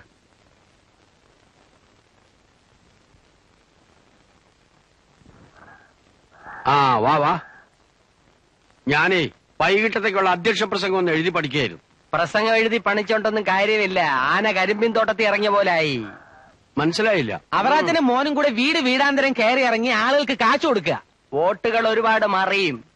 ചുമ്മാ കിടന്ന് ഉറങ്ങിയവനെ വിളിച്ചുണത്തി തെങ്ങേ കയറ്റി എന്ന് പറഞ്ഞ പോലായി പീതാംബരന്റെ കാര്യം. പീതാംബരൻ എങ്ങാനും തോറ്റാൽ നമ്മളാവും ഉത്തരവാദികൾ സമ്മതിദാനാവകാശം വിലക്ക് വാങ്ങിക്കുക എന്ന് പറഞ്ഞാൽ ഞാൻ അതിനെതിരാ അല്ലെങ്കിൽ ഇരിക്കുന്നു മേടിക്കാൻ. ഒരു പൈസ പോലും സംഭാവന കിട്ടാതെ രസീത് ബുക്ക് പോലും നമ്മളെ നോക്കി നാണിച്ച് പല്ലിളിക്കുക. ആളുകളുടെ മനസ്സ് മാറ്റണം. അത്രയല്ലേ വേണ്ടൂ? അത് ഞാൻ ഏറ്റു. ഒരു ഒരു സഹതാപ തരംഗം സൃഷ്ടിച്ചാലോ അങ്ങനെ എങ്ങനെ? വഴിയുണ്ട്. പണ്ട് കർത്താവിനെ ഒറ്റുകൊടുക്കാൻ നേരത്ത് യൂദാസും ഒരു പെഗ് അടിച്ചിരുന്നു. പീതാംബനെ പോലെ ഒരു നല്ല മനുഷ്യനായിട്ട് പണിയണമെങ്കിൽ യവന്റെ പിൻബലമില്ലാതെ പറ്റത്തില്ല. ഉമ്മിണി ആ ചെമ്മിണി കൂടെ അടിക്കും പ്രവർത്തിക്കാനുള്ളതായി. ഇനി കുടിച്ച ഞാൻ വാൾ പണി. എന്നാ വേണ്ട? പണ്ടാണെങ്കിൽ ലാവിഷായിട്ട് ഛർദിക്കായിരുന്നു ഇപ്പൊ ചാരായത്തിനും തീ പിടിച്ച വിലയാ. ജോക്കി ഇനി മോന്തിക്കൊണ്ടിരുന്ന അവരങ്ങ് പോവും. പറഞ്ഞ വഴി കൂടെ തന്നെ അധ്യക്ഷൻ വരുമോ? ആ പീതാംബരനോട് കൂറുള്ളവൻ അച്യുതൻ നായര് അയാളൊരു വാക്ക് പറഞ്ഞ വാക്ക വൃത്തികെട്ടവൻ. അത് ശരിയാ. നാറിയാണെങ്കിലും അയാൾ ആൾ നല്ലവനാ. കണ്ണു കാണാമല്ലോ. വരുന്നുണ്ട്. വേഗം. ആ മുഖംമൂടി ഇട ആ പൊക്ക പൊക്കോ. നിക്ക നിക്ക. കിട്ടിയ അവസരം പാഴാക്കരുത്. അച്യുത നായർക്ക് ഒരെണ്ണം കൊടുത്തേരെ. അയാളല്ലേ സൂത്രധാരകൻ. നന്നായിട്ട് പെരുമാറു കുഞ്ഞുങ്ങളെ. പോ പോ. എങ്ങനെ കണക്ക് കൂട്ടിയാലും ഒരു രണ്ടായിരം ഓട്ടിന്റെ ഭൂരിപക്ഷത്തിന് താൻ ജയിക്കേണ്ടതാ. പക്ഷെ നമ്മുടെ ആളുകൾക്കുള്ള ഒരു പരാതി താൻ നേരിട്ട് അവരോട് വോട്ട് ചോദിക്കുന്നില്ല എന്നുള്ളതാ. നിർബന്ധിക്കേണ്ട കാര്യമുണ്ടോ? അവർക്ക് തോന്നിട്ട് വേണല്ലോ ചെയ്യാൻ. അത് പറഞ്ഞിട്ട് കാര്യമില്ല. ഇപ്പൊ അത് വല്ലതാണോ നടക്കുന്നത്? രാഷ്ട്രീയം എന്ന് പറയുന്നത് ലക്ഷക്കണക്കിന് രൂപ മുതൽ മുടക്ക് ചെയ്യുന്ന ഒരു ബിസിനസ് ആയിട്ട് അധപ്പതിച്ചിരിക്കുകയല്ലേ? അയ്യോ അയ്യോ അയ്യോ എന്നെ അയ്യോ അയ്യോ. എന്നെ കൊല്ലുന്നേ. അയ്യോ. വോട്ട് കിട്ടും. പുഷ്പം പോലെ ജയിക്കും.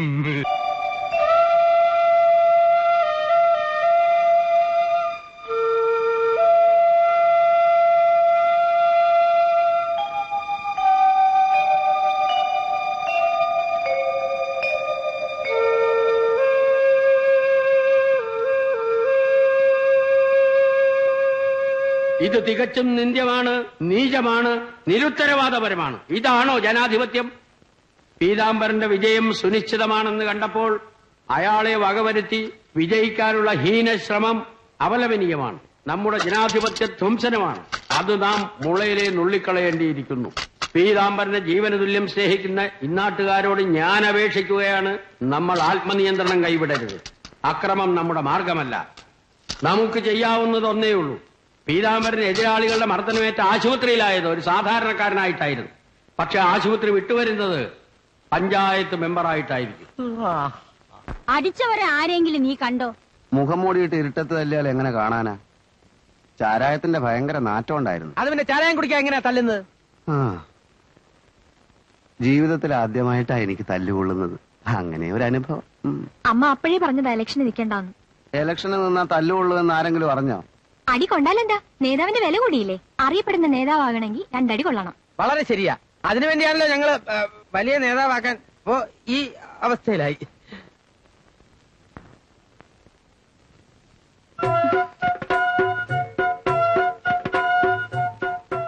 പോസ്റ്റ് ഓഫീസിന്റെ അടുത്ത് പ്രതിഷേധ യോഗം ഉണ്ടായിരുന്നു. അപ്പോഴാ അറിഞ്ഞത്.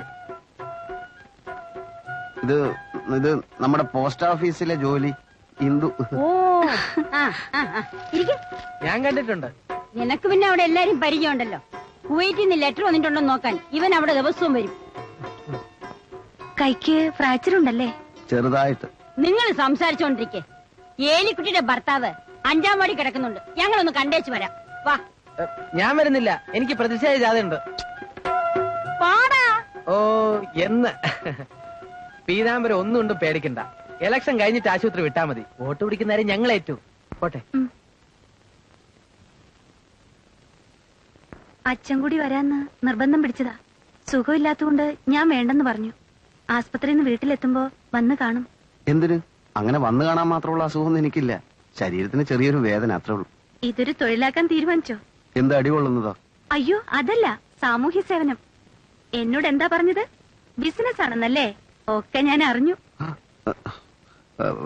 എന്റെ ഫ്ര- ഫ്രണ്ട്സ് ടൗണിലൊരു ഫാക്ടറി തുടങ്ങാൻ പോവുകയാണ്. തുടങ്ങിയാൽ അവിടെ ഉടനെ ഒരു ജോലി കിട്ടും. ഇനിയിപ്പോ അതിന്റെ ഒന്നും ആവശ്യമില്ലല്ലോ. പഞ്ചായത്ത് മെമ്പറായി പ്രസിഡന്റായി എം എൽ എ ആയി മന്ത്രിയായി. ഇനി അങ്ങോട്ട് പൊക്കല്ലേ? ഉയരത്തുനിന്ന് വീഴാൻ വയ്യ.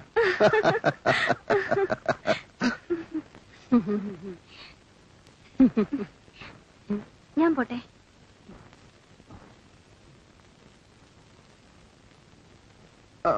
ഓ, എന്ന് തുടങ്ങി. എന്ത്? അയ്യോ പാവം. ഒന്നും അറിഞ്ഞൂടാ. ഒന്ന് വേർത്ത അങ്ങാടി പാട്ടാവുന്ന നാടാ. എന്നിട്ട് നമ്മൾ അറിഞ്ഞില്ലല്ലോ? ഞാൻ അമ്മയോട് പറയാം ചേട്ടത്തിയമ്മയെ കണ്ടെന്ന്. കൺഗ്രാചുലേഷൻസ് കണ്ടുപിടിച്ച പെണ്ണു കൊള്ളാം. ഏ ഏതായാലും സിന്ധുവിന്റെ കല്യാണം കഴിഞ്ഞിട്ട് ആലോചിച്ചാ മതി. ആ ആ ഓക്കെ ഓക്കെ ഓക്കെ. ദാ. ആ വാ.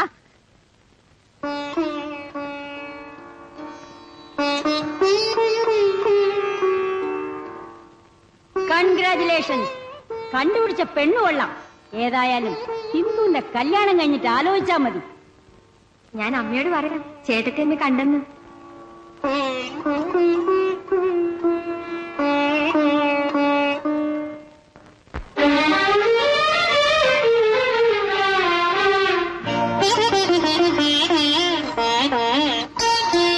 ഹരിയും ശ്രീയും വരമായി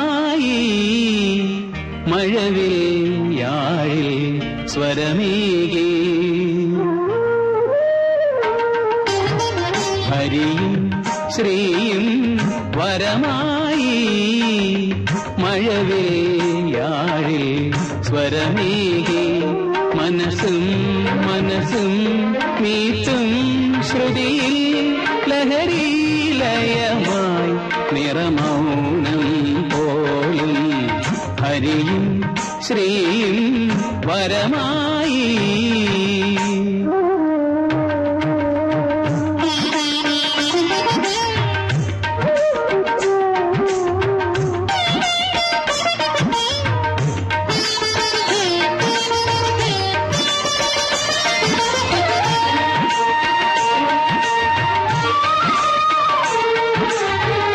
പൊന്നുഷസിൽ കതിരാടുമിളം കുളിരോണം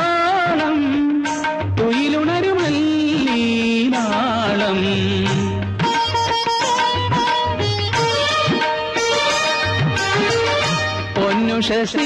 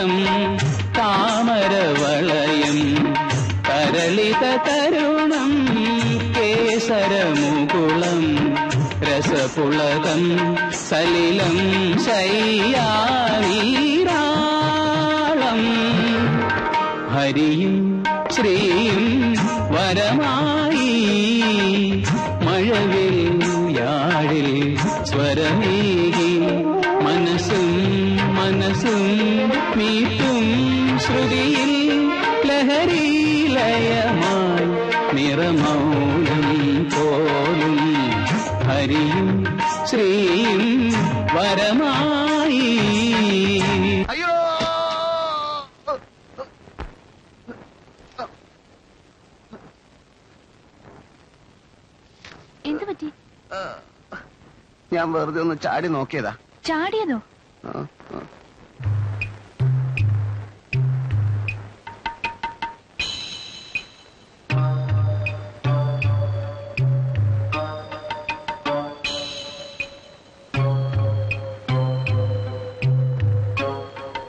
Hello Jockey.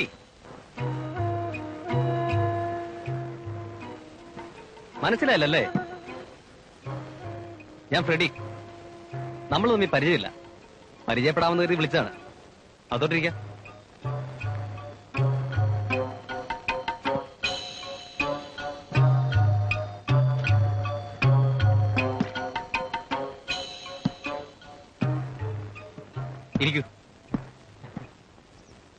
ജോക്കിയുടെ പേര് ഞാൻ എങ്ങനെ മനസ്സിലാക്കിയെന്നായിരിക്കും. ഇവിടുന്ന് ഒരു പത്ത് കിലോമീറ്ററുകൾ എന്റെ വീട്ടിലേക്ക്. എന്റെ ഫ്രണ്ട് കുവൈറ്റിലുണ്ട്. അവന് ജൊക്കി അറിയാം. കുവൈറ്റിൽ എന്തായിരുന്നു ജോലി. ഞാൻ ഇവിടുത്തെ ഒരു ഹോട്ടലിലെ തൂപ്പുകാരെ പിന്നെ തൂപ്പരെ സൂപ്പർവൈസ് ചെയ്യുന്ന ആളായിരുന്നു. അപ്പൊ യുദ്ധം കഴിഞ്ഞ് പിന്നെ അങ്ങോട്ട് പോയില്ലല്ലേ? ഇല്ല ഏത് നിമിഷം വിളി വരാം? അല്ല വിളിച്ചില്ലേലും കുഴപ്പമില്ല. എന്റെ അങ്കിളിന് അവിടെ വലിയ ബിസിനസ്സാ കക്ഷിക്ക് ആളെ ആവശ്യമുണ്ട്. ആ പാസ്പോർട്ട് നമ്പർ തന്നാ മതി. ഞാൻ എഴുതാം. ഞാനിത് കുഴപ്പമില്ലെന്നേ. അല്ല കഴിക്കാറുണ്ട്. അത് ശരി. ഇവിടെ ആരെ കാണാൻ വന്നതാ? പുഴയിലൂടെയുള്ള യാത്ര. ഒരു ത്രില്ലാണ്. ആൻ അമേസിംഗ് എക്സ്പീരിയൻസ് ദിവസവും രണ്ടു മണിക്കൂറെങ്കിലും ബോട്ട് ഓടിച്ചില്ലെങ്കിൽ ഭയങ്കര ബോറാണ്. യാത്രക്കിടയിൽ ചൂണ്ടയെറിഞ്ഞ് മീൻ പിടിക്കണം. എന്നിട്ടത് ഈ ബോട്ടിൽ വെച്ച് പാചകം ചെയ്ത് മദ്യത്തോടൊപ്പം കഴിച്ച് പ്രകൃതിയുടെ സ്വച്ഛമായ കാറ്റിന്റെ തലോടലിൽ തിരയുടെ താളത്തിൽ മയങ്ങണം. ആ നിമിഷങ്ങളുടെ സുഖം ചൊക്കി എറിഞ്ഞിട്ടുണ്ടോ ഒന്ന് നോക്കിയാൽ നമ്മളെല്ലാം വിധിയുടെ കളിപ്പാവകളാണ്. പുഴ നമുക്കെല്ലാം തരും. ഒന്നൊഴികെ.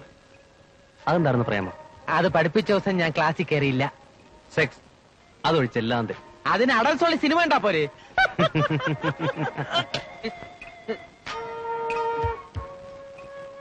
ഈ തീരത്തോട് എനിക്കൊരു പ്രത്യേക താല്പര്യമുണ്ട്. മറ്റൊരു തീരത്തോടും തോന്നാത്ത ഒരു മമത. നല്ല സ്ഥലമാ. സെന്റിന് പതിനായിരം വെച്ച് കൊടുത്താലും കിട്ടാനില്ല. റെഡിക്ക് വേണേ നമുക്ക് നോക്കാം. ഞാൻ വിലയ്ക്ക് വാങ്ങുന്ന കാര്യമല്ല പറഞ്ഞത്. I mean this fantastic landscape സൗന്ദര്യം ദർശിക്കുന്നതിന് വില കൊടുക്കേണ്ട ആവശ്യമില്ലല്ലോ. ഓഫ് കോഴ്സ്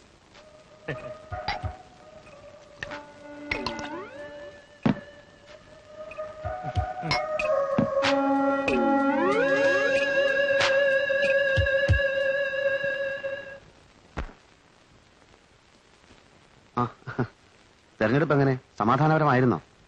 ആളുകൾ വിചാരിച്ച പോലെ കുഴപ്പമൊന്നും ഉണ്ടായില്ല. ആ ജൊക്കി ആരോ പിടിച്ച് തള്ളിയെന്നോ അടിച്ചതൊക്കെ കേട്ടു.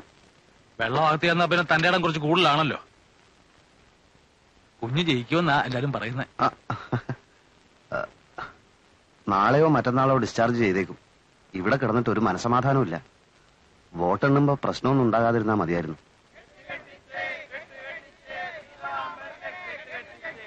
കെട്ടുകെട്ടിച്ച് കെട്ടുകെട്ടിച്ച് പീതാംബരനെ കെട്ടുകെട്ടിച്ച്. എ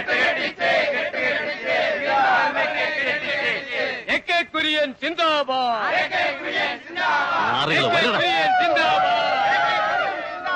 சொத்தல்லோ சொத்தல்லோ பீதாபரன் சொத்தல்லோ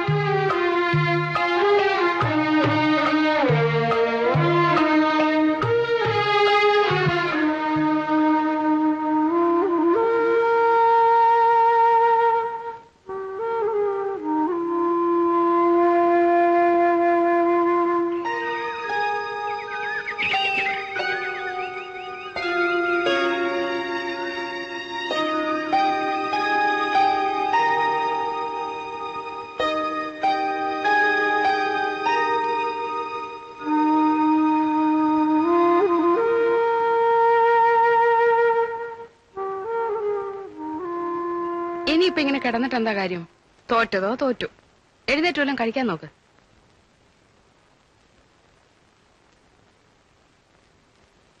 അമ്മേ ആശുപത്രി വെച്ച് കണ്ട ചേച്ചി അച്ഛനും കൂടെ വന്നിരിക്കുന്നു. രക്തം കൊടുക്കാൻ വേണ്ടി വന്നപ്പോ ആശുപത്രി വെച്ച് പീതാംബരനെ കണ്ടു. അപ്പോഴും ഒന്നും പറഞ്ഞില്ല. ഇങ്ങോട്ട് വരാനും വഴി ചോദിച്ചപ്പോഴല്ലേ അറിയുന്നത് വലിയടത്ത് കേശവൻ കേശവന്നായുടെ വീടാണെന്ന്. ആ പേര് മാത്രമേ ഉള്ളൂ. ആ മതിയല്ലോ. കാശും സമ്പാദ്യവും ഒക്കെ പോയാലും തൽപ്പേരെന്ന് നിൽക്കും. ഏതായാലും വലിയടത്ത് കേശവൻ നായയുടെ മോനോടാണല്ലോ ഞാൻ കടക്കാരനായത്. അവൻ കാശുമില്ല കടം മേടിച്ചോ? ഞാൻ കടം മേടിച്ചു. ഞങ്ങൾ തമ്മിൽ ഒരു എൺപത് പൈസയുടെ ബന്ധമാ. പീതാംബരൻ അതൊന്നും ഇവിടെ പറഞ്ഞില്ലേ? ഓ അവൻ ഇവിടെ വന്നൊന്നും പറയത്തില്ല. രക്തം കൊടുക്കാൻ പോയ കാര്യം തന്നെ നിങ്ങൾ പറഞ്ഞപ്പോഴാണ് ഞാൻ അറിഞ്ഞത്.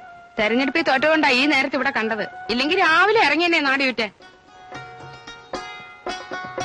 ആ മോക്ക് പോസ്റ്റ് ഓഫീസിലെ ജോലി എന്നല്ലേ പറഞ്ഞത്? അതെ. എന്നും പോയി വരുവാന്നോ അതിനുള്ള ദൂരല്ലേ ഉള്ളൂ. മോൾ പോയി ചായക്ക് ഇത്തിരി വെള്ളം വെക്ക് ശരി. മൂത്ത മോളാണല്ലേ? അതെ. ഇവന്റെ നേരെ ഇളയതാ. ആലോചനയൊന്നും ആയില്ലേ? ആലോചിക്കേണ്ട ആളല്ലേ നാട് നന്നാക്കാൻ നടക്കുന്നത്. എന്താ പീതാംബര? നാട്ടുകാരി മാത്രം നോക്കി കിടന്നാ മതിയോ? നാട്ടുകാരിയും നോക്കണം. പത്ത് പേർക്ക് ഉപകാരം ചെയ്താൽ ഒരാളെങ്കിലും തിരിച്ചു ചെയ്യും. അതെനിക്ക് അനുഭവമാണ്. എന്ന് വിചാരിച്ച് സ്വന്തം കാര്യം നോക്കാതിരിക്കരുത്. ആ നേരമായെങ്കിൽ മോൾ വയ്ക്കോ. ആ പീസ് മുടക്കണ്ട. ചായ കുടിച്ചിട്ട് പോവാൻ മോളെ. ചായ വേണ്ടമ്മേ. ഉച്ചയ്ക്ക് ഊണ് തന്നാ മതി. വരട്ടെ.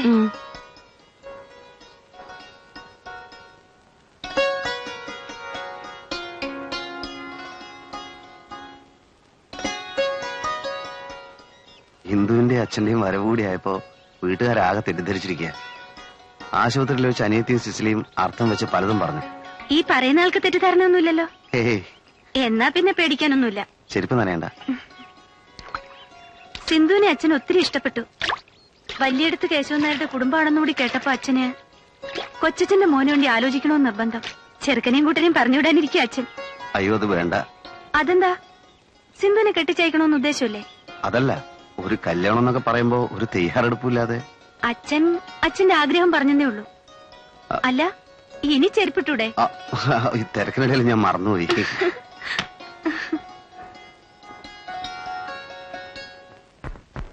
മിസ്റ്റർ പീതാംബരൻ.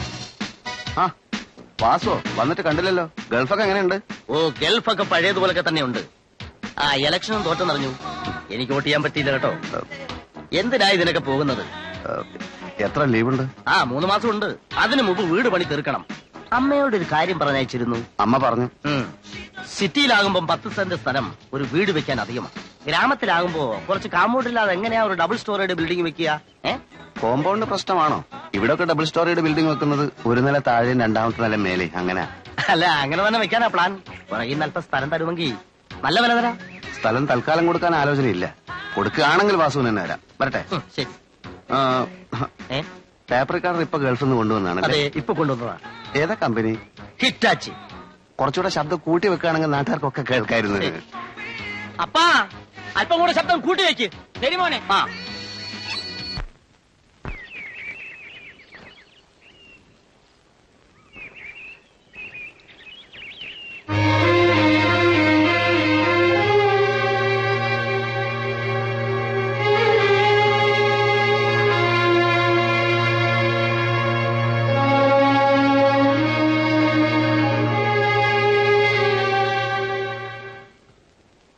ആരാടിയത് ഏത്? നീ ഇവിടെ സംസാരിച്ചുകൊണ്ടെന്ന് ആരോടാണെന്ന്? എനിക്കറിയത്തില്ല. അറിയത്തില്ലേ പിന്നെ സംസാരിച്ചെന്തിനാ? ചോദിച്ചത് കേട്ടില്ലേ? എന്താടാ? ഇവൾ ആ ബോട്ടുകാരനോട് കൊഞ്ചിക്കുഴഞ്ഞ് നിൽക്കുന്നത് ഞാൻ കണ്ടമ്മേ. ഞാൻ ആരോടും കൊഞ്ചിയില്ല. മമ്മയുടെ വീടാനും ചോദിച്ചു. ഞാൻ പറഞ്ഞു കൊടുക്കുകയും ചെയ്തു. വീട് ചോദിക്കാൻ അവന് നിന്നെ മാത്രമേ കിട്ടിയുള്ളൂ? അത് അയാളോട് പോയി ചോദിക്കണം. എനിക്കിപ്പോ നിന്നോട് ചോദിച്ചാ മതി. ഈ തറവാടിന് അന്തസ്സുണ്ട്. നീയും അവരുമായിട്ട് എന്താണ് ഇടപാടെന്ന് എനിക്കിപ്പോ അറിയണം. ഒരാളോട് സംസാരിച്ചു പോയാൽ തറവാടിന്റെ അന്തസ് ഇടിഞ്ഞു വീഴുവോ? കൊഞ്ചി പോലും കുറ്റം കണ്ടുപിടിക്കാൻ ഒരാൾ വന്നിരിക്കുന്നു. സിന്ധു! ഞങ്ങളെ ഗുണദോഷിക്കുന്ന എന്ത് അർഹതയാണുള്ളത്? ഞങ്ങളുടെ എന്തെങ്കിലും കാര്യങ്ങൾ ചേട്ടൻ ഇതുവരെ നോക്കിയിട്ടുണ്ടോ? ഇത്രയും കാലമായിട്ട് ഒരു ബ്ലൗസിന് തുണിയെങ്കിലും വാങ്ങിച്ചു തന്നിട്ടുണ്ടോ? എനിക്ക് ഇഷ്ടമുള്ളവരോട് സംസാരിക്കും. തോന്നി വഴിക്ക് ഇറങ്ങിപ്പോ.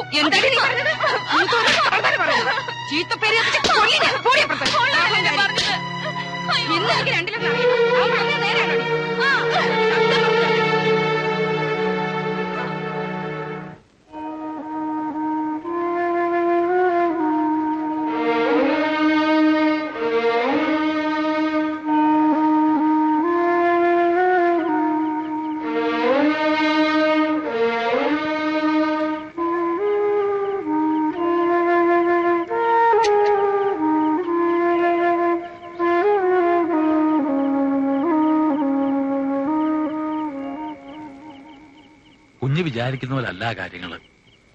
ആ ബോട്ടുകാരൻ ആളൊരു താൻ തോന്നിയാ ഒന്ന് രണ്ട് മാസമായിട്ട് അയാൾ ഈ പുഴ കൂടെ അങ്ങോട്ടും ഇങ്ങോട്ടും ഓടിച്ചു പോകുന്ന കാണാം. അയാൾ ആ കുഞ്ഞിനോട് എന്തെങ്കിലും മിണ്ടിന്നോ പറഞ്ഞോ അവൾ വേണ്ടി ഒന്ന് ഇറങ്ങിപ്പോകുന്നു പറഞ്ഞില്ലേ? പറഞ്ഞെങ്കിൽ തന്നെ എന്താ തെറ്റ്? അവരുടെ എന്തെങ്കിലും കാര്യം കുഞ്ഞ് ഇതുവരെ അന്വേഷിച്ചിട്ടുണ്ടോ?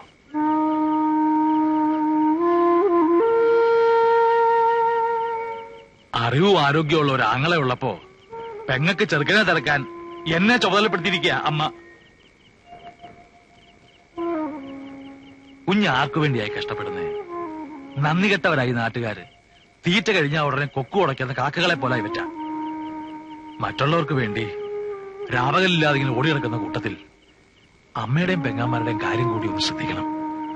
അവരന്യരാണെന്ന് കരുതിയിട്ടെങ്കിലും. ഇല്ല കുമാരൻ ചേട്ടാ കുറച്ചു ദിവസമായിട്ട് ഇതൊക്കെ തന്നെ ഞാനും ആലോചിച്ചുകൊണ്ടിരിക്കുന്നത്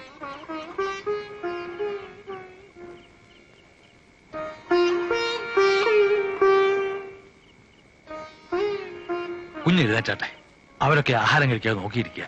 ഇന്ന് എനിക്കും ഇവിടുന്ന് രണ്ടുപിടി ചോറുണ്ടണം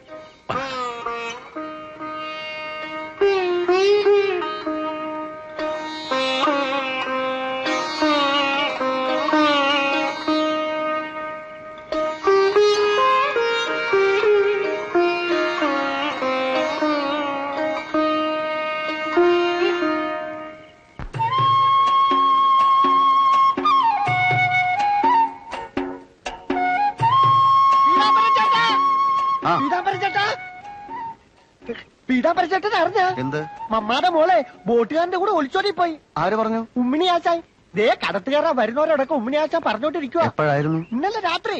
ഓ എഴുത്തെടുത്ത് വെച്ചാ പോയത്. പിന്നെ അമ്മ കുറച്ചു നേരം കറഞ്ഞു ഉം, ചൊക്കിച്ചേട്ടൻ പറഞ്ഞ് സാരമില്ലാന്ന്. ശ്രീധന ഇല്ലാതെ പെണ്ണിറങ്ങി പോയോണ്ട് മൂപ്പര് പള്ളി മെഴുകുതിരി എത്തിക്കാൻ പോവാന്ന്.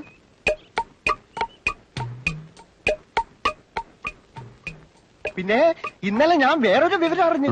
അന്ന് പീതാംബരം ചേട്ടനെ തല്ലിയത് ആരാണെന്ന് അറിയാമോ നമ്മളെ ചോക്കിയും ഉമ്മിണിയാശാനും കൂടെ അന്ന്.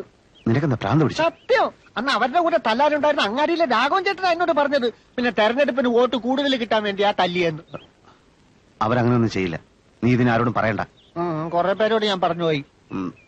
നീ ഇപ്പൊ ഇവിടുന്ന് ഇലവിട്ടുന്നത് ഞാൻ ഇലവെട്ട് നിർത്താൻ പോവാ. പിന്നെ ഇലവെട്ടി ആ മഴ പെയ്യൂല എന്ന് ആളുകളൊക്കെ പറയുന്നു. കളിയല്ല പേപ്പറിലൊക്കെ ഉണ്ടായിരുന്നേ. എന്നാ ശരിയായിരിക്കും. ഇനി നീ എന്ത് ചെയ്യാൻ പോവാ? പിന്നെ നമ്മുടെ അങ്ങാടിയിൽ ചരക്കിറക്കാൻ വരുന്ന ലോറിക്കാരെ സുമാരേട്ടൻ പറഞ്ഞ് എന്നെ കിളിയാക്കാവുന്നു. അത് കൊള്ളാം. അപ്പൊ നീ ഇനി കിളി മടന്ത. അതെ. എന്താ ഞാൻ പിടിച്ചോളാം.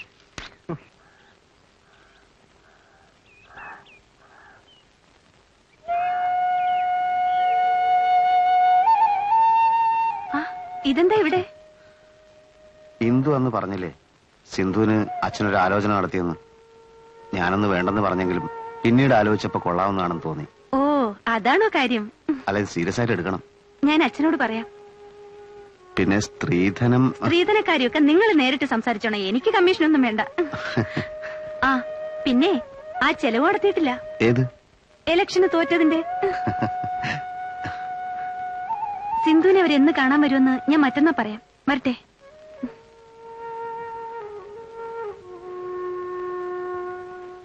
ജാതക ഉത്തമം. ചെറുക്കനും പെണ്ണിനും ഇഷ്ടമായ സ്ഥിതിക്ക് മറ്റു കാര്യങ്ങൾ എന്താന്ന് വെച്ച് പറയുക. എന്താ? തുറന്നു പറയുന്നോണ്ട് ഒന്നും തോന്നരുത്. സ്ത്രീധനമായിട്ട് ഒന്നും തരാനില്ല. ഈ വസ്തുവിന്റെ ഒരു ഓഹരി അവൾ കൂടി അവകാശപ്പെട്ടതാ. ഇപ്പോഴത്തെ സ്ഥിതിക്ക് അത് തരാനേ നിവൃത്തിയുള്ളൂ. സ്ത്രീധനമൊന്നും ഞങ്ങൾ ചോദിച്ചില്ലല്ലോ. എന്നാലും ഞങ്ങളത് പറയണമല്ലോ. വാസുദേവന് ചെറുതാണെങ്കിലും ഉള്ളതൊരു സർക്കാർ ജോലിയാ. സ്ത്രീധനം വാങ്ങിച്ചുന്ന പേരുദോഷം വേണ്ട. വസ്തുവിന്റെ ഓഹരി പെൺകുട്ടിക്ക് അവകാശപ്പെട്ടതായതുകൊണ്ട് അത് വേണ്ടെന്ന് പറയുന്നില്ല. എത്ര സെന്റാ കൊടുക്കുക എന്ന് വെച്ചാ കല്യാണത്തിന് മുമ്പ് പെണ്ണിന്റെ പേരിൽ അങ്ങ് എഴുതി വെക്കുക എന്താ? അങ്ങനെ ചെയ്യാം. എത്ര ഇടത്തുനിന്ന് പെണ്ണ് നോക്കിയതാ? അതൊന്നും ഉറക്കാതെ പോയത് വലിയടത്തുനിന്ന് ഒരു ബന്ധം വിധിച്ചിരുന്നതുകൊണ്ടാ വിധിച്ചതിലേ നടക്കൂ. ഇനി ഇപ്പൊ അവന് താഴെയുള്ള പെണ്ണിന്റെ കാര്യവും നടക്കും. ആ കുട്ടിക്ക് ഇപ്പൊ എത്ര വയസ്സായി? സുമയ്ക്ക് ഈ മേടത്തിൽ ഇരുപത്തഞ്ച് വയസ്സ് തികഞ്ഞു. ആ ഇനി ഇരിക്കുന്നില്ല. നിശ്ചയത്തിന്റെ സമയം കുറിച്ച് അറിയിക്കുക. എന്താ? ആയിക്കോട്ടെ. എന്നാ ഞങ്ങൾ ഇറങ്ങട്ടെ? ഓ.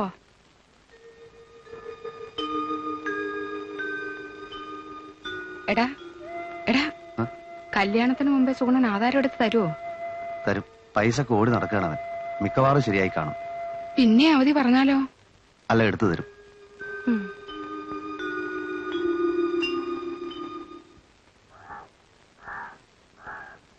സുഗുണ? സുഗുണ? സുഗുണൻ ഇവിടെ ഇല്ലല്ലോ പീതാംബര. എവിടെ പോയി? ബോംബെക്ക്. ബോംബെക്ക്? ആ. അവന്റെ കുഞ്ഞമ്മയുടെ ഒരു കത്തുണ്ടായിരുന്നു. നാട്ടിൽ ഇങ്ങനെ തെണ്ടിത്തിരിഞ്ഞ് നടക്കണ്ട. അവിടെ ചെന്നാൽ ഒരു ജോലി തരപ്പെടുത്തി കൊടുക്കാമെന്ന് പറഞ്ഞു. പെട്ടെന്ന് ആയതുകൊണ്ട് നിന്നെ കണ്ട് യാത്ര ചോദിക്കാൻ പറ്റിയില്ല. ഒരു എഴുത്ത് തന്നെ ഏൽപ്പിച്ചിട്ടുണ്ട് നിനക്ക് തരാൻ.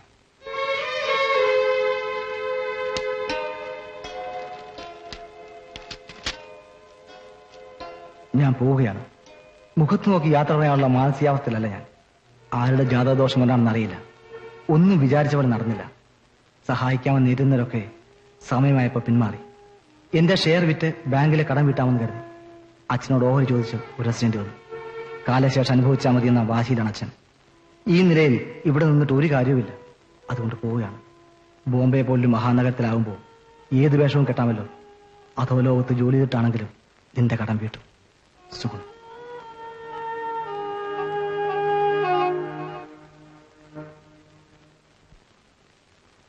ആളെ വിട്ട് വിളിപ്പിച്ചത് ഇനി ഞങ്ങൾക്ക് കാത്തിരിക്കാൻ പറ്റാത്തതുകൊണ്ടാ.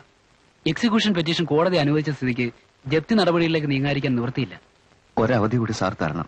നാലു വർഷത്തെ അവധി കിട്ടിയിട്ടും ഒരു പൈസ പോലും അടയ്ക്കാത്ത നിങ്ങൾക്ക് ഇനി എന്തിനാണ് അവധി? ഇത് അങ്ങനെയല്ല സർ. വീട്ടിലൊരു കല്യാണം നടക്കാൻ പോകുന്ന സമയം. ഈ അവസരത്തിൽ ഒരു ജപ്തി ഉണ്ടായാൽ പലരുടെയും മരണം കാണേണ്ടി വരും. കല്യാണം കഴിയുന്നവരെ ബാങ്കിന് കാത്തിരിക്കാൻ പറ്റില്ല. ഇവിടുന്ന് ആധാരം എടുത്താലേ കല്യാണം നടക്കൂ. പെങ്ങളുടെ ഷെയർ അവളുടെ പേർക്ക് എഴുതണം. ഒരു പതിനഞ്ച് ദിവസത്തെ അവധി കൂടി തരാം. അതിനുള്ളിൽ പകുതി തുകയെങ്കിലും അടച്ചില്ലെങ്കിൽ ഞങ്ങൾക്ക് പിന്നെ മറ്റു വഴിയൊന്നുമില്ല.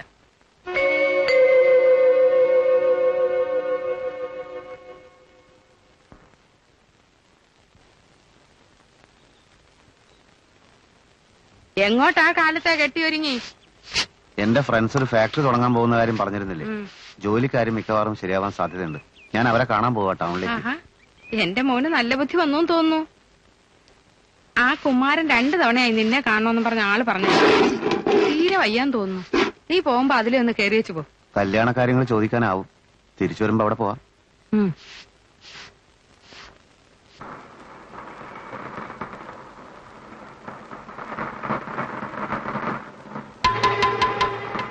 സുഗുണം ഇവിടെ?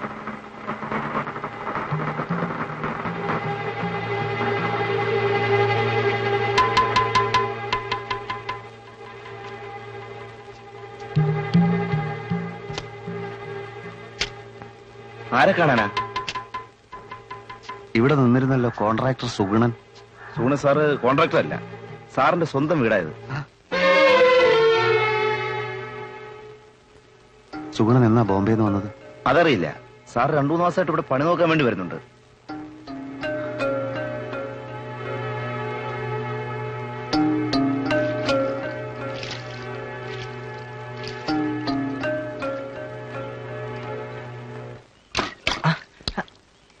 പീതാംബരനോ നീ ഇവിടെ? ഞാൻ ഇതുവഴി പോയപ്പോ കണ്ടതാ. നീ എന്നാ ബോംബെ നിന്ന് വന്നത്? മിനിയാന്ന് വർക്ക് പൂർത്തിയാകുന്നത് കെട്ടണമായത് ഇതിന്റെ ഉടമസ്ഥനെ ഞാൻ ബോംബെ ദാദ്ര വെച്ച് പരിചയപ്പെട്ടു. എനിക്ക് കോൺട്രാക്ട് പണി ഉണ്ടായിരുന്നു പറഞ്ഞപ്പോ ഈ വീടൊന്ന് കംപ്ലീറ്റ് ചെയ്താൻ പറഞ്ഞു. ഇന്ന് രാത്രി ഞാൻ നിന്നെ കാണാൻ വരാനിരിക്കായിരുന്നു. ആ പിന്നെ എന്തൊക്കെ ഉണ്ടോ വിശേഷങ്ങൾ? സിന്ധുവിന്റെ വിവാഹം ഉറപ്പിച്ചു. ഓഹോ എന്നാ? അടുത്ത മാസം പത്താം തീയതി. ആ അതേതായാലും നന്നായി. പക്ഷെ ആധാരം എടുക്കാതെ കല്യാണം നടക്കില്ല. സിന്ധുവിന്റെ ഷെയർ അവളുടെ പേർക്ക് എഴുതണം. നമുക്ക് വഴി ഉണ്ടാക്കാം. എങ്ങനെ?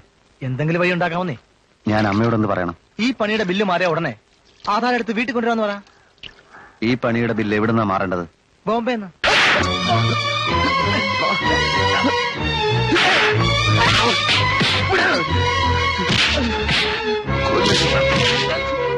വഞ്ചക.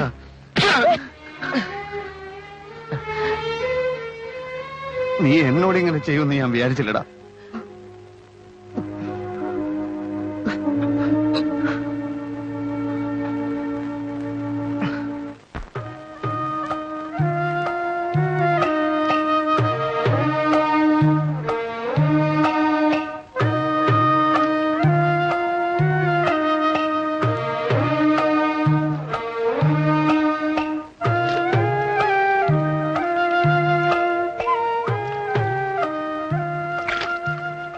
പീതാംബരൻ എവിടെയായിരുന്നു വിവരം അറിഞ്ഞോ?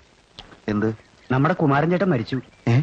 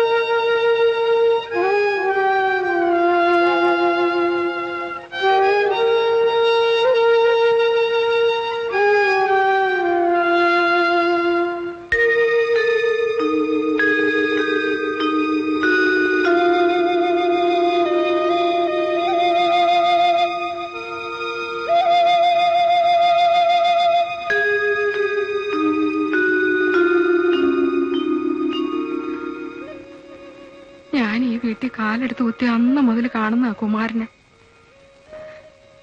വിശ്വസിക്കാനേ പറ്റുന്നില്ല. നമുക്കിനി ആരും ഇല്ലാതായി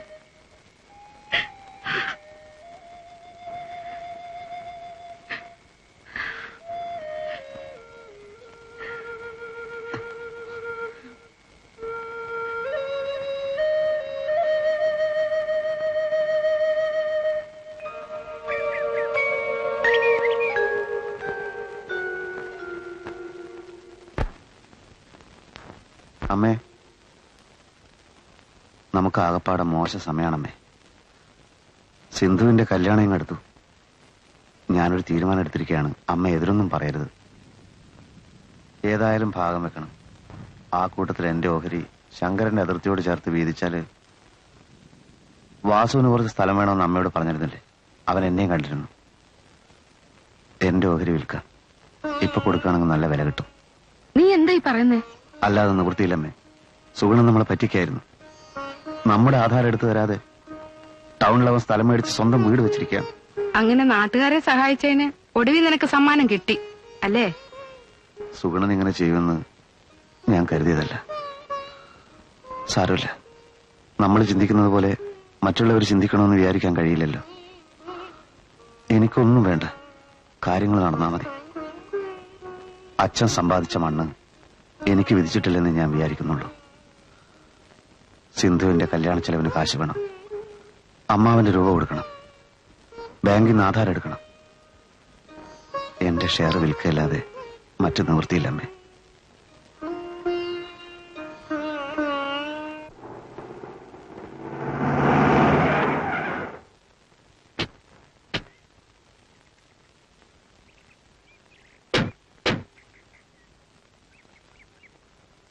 ആ ഒരുക്കമൊക്കെ എന്തായി? ആ വിളിച്ചു തുടങ്ങി.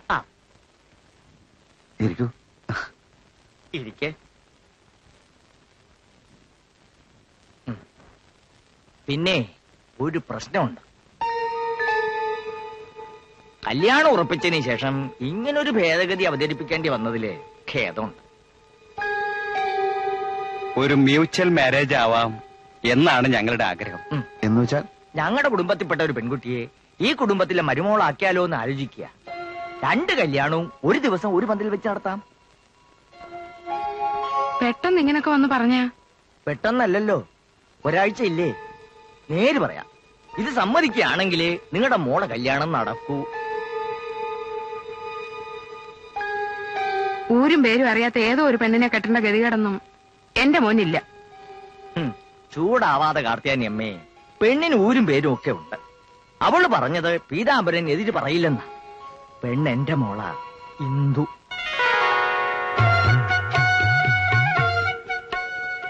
പക്ഷേ അവൾക്കൊരു ഡിമാൻഡ് ഉണ്ട് തന്റെ ഈ പൊതുജന പ്രവർത്തനം ഉണ്ടല്ലോ അത് നിർത്തണം. അത് നിർത്തിയ മട്ടാണ്.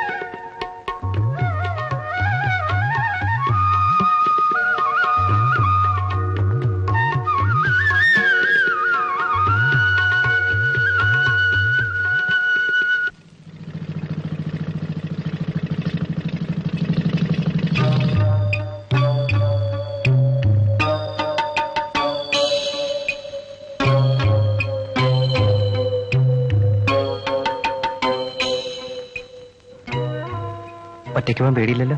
ഇല്ല. ഇത് അളിയന്റെ വക പ്രത്യേക പ്രസന്റ് ആണെന്ന് ജോക്കിയോട് പറയണം. നാളെ രാവിലെ പള്ളി വെച്ച് കാണാം. ഓക്കെ ഓക്കെ ബൈ ബൈ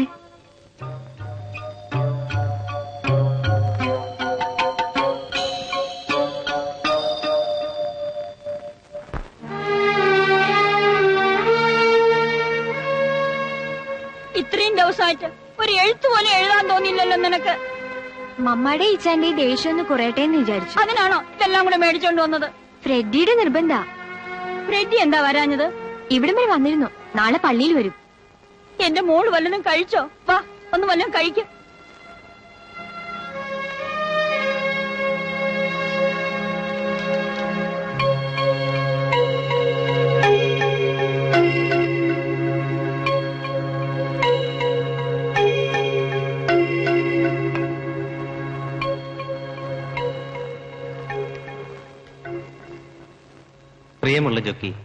ഈ തീരത്തോട് എനിക്കൊരു പ്രത്യേക താല്പര്യമുണ്ടെന്ന് ഞാൻ പറഞ്ഞത് ജൊക്കി ഓർമ്മിക്കുമല്ലോ. ആ താല്പര്യം എന്തായിരുന്നുവെന്നും നിനക്കിപ്പോൾ മനസ്സിലായി കാണുമെന്ന് വിചാരിക്കുന്നു. സിസിലിയെ ഞാൻ വിളിച്ചുകൊണ്ട് പോയെടുത്ത് തന്നെ ഇറക്കി വിടുകയാണ്. എന്റെ അങ്കിളിന് റേഷൻ കട പൂട്ടിച്ചതിന്റെ പ്രതികാരം അതിങ്ങനെ ചെയ്യാനാണ് എനിക്ക് തോന്നിയത്.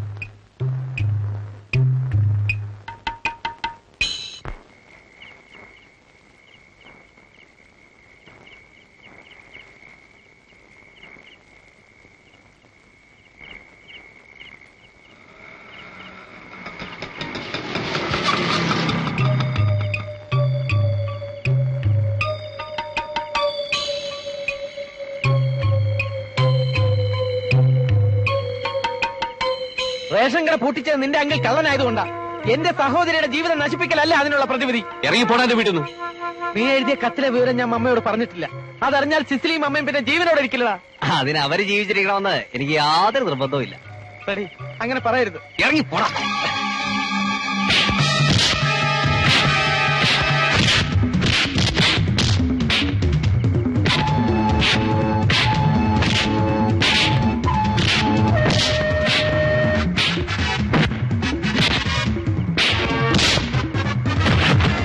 നടന്നതൊക്കെ യാഥാർത്ഥ്യമാണെന്ന് വിശ്വസിക്കാൻ കഴിയുന്നില്ല.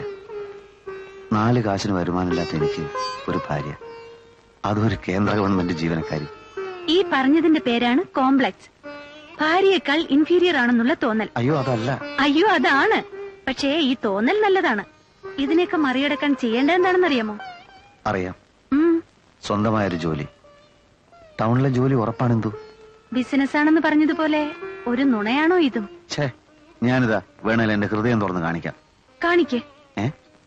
ഏറ്റവും ചുരുങ്ങിയതാ ഹൃദയത്തിൽ ഞാൻ ഉണ്ടോന്നെങ്കിലും അറിയാലോ. പീതാംബര. പീതാംബര.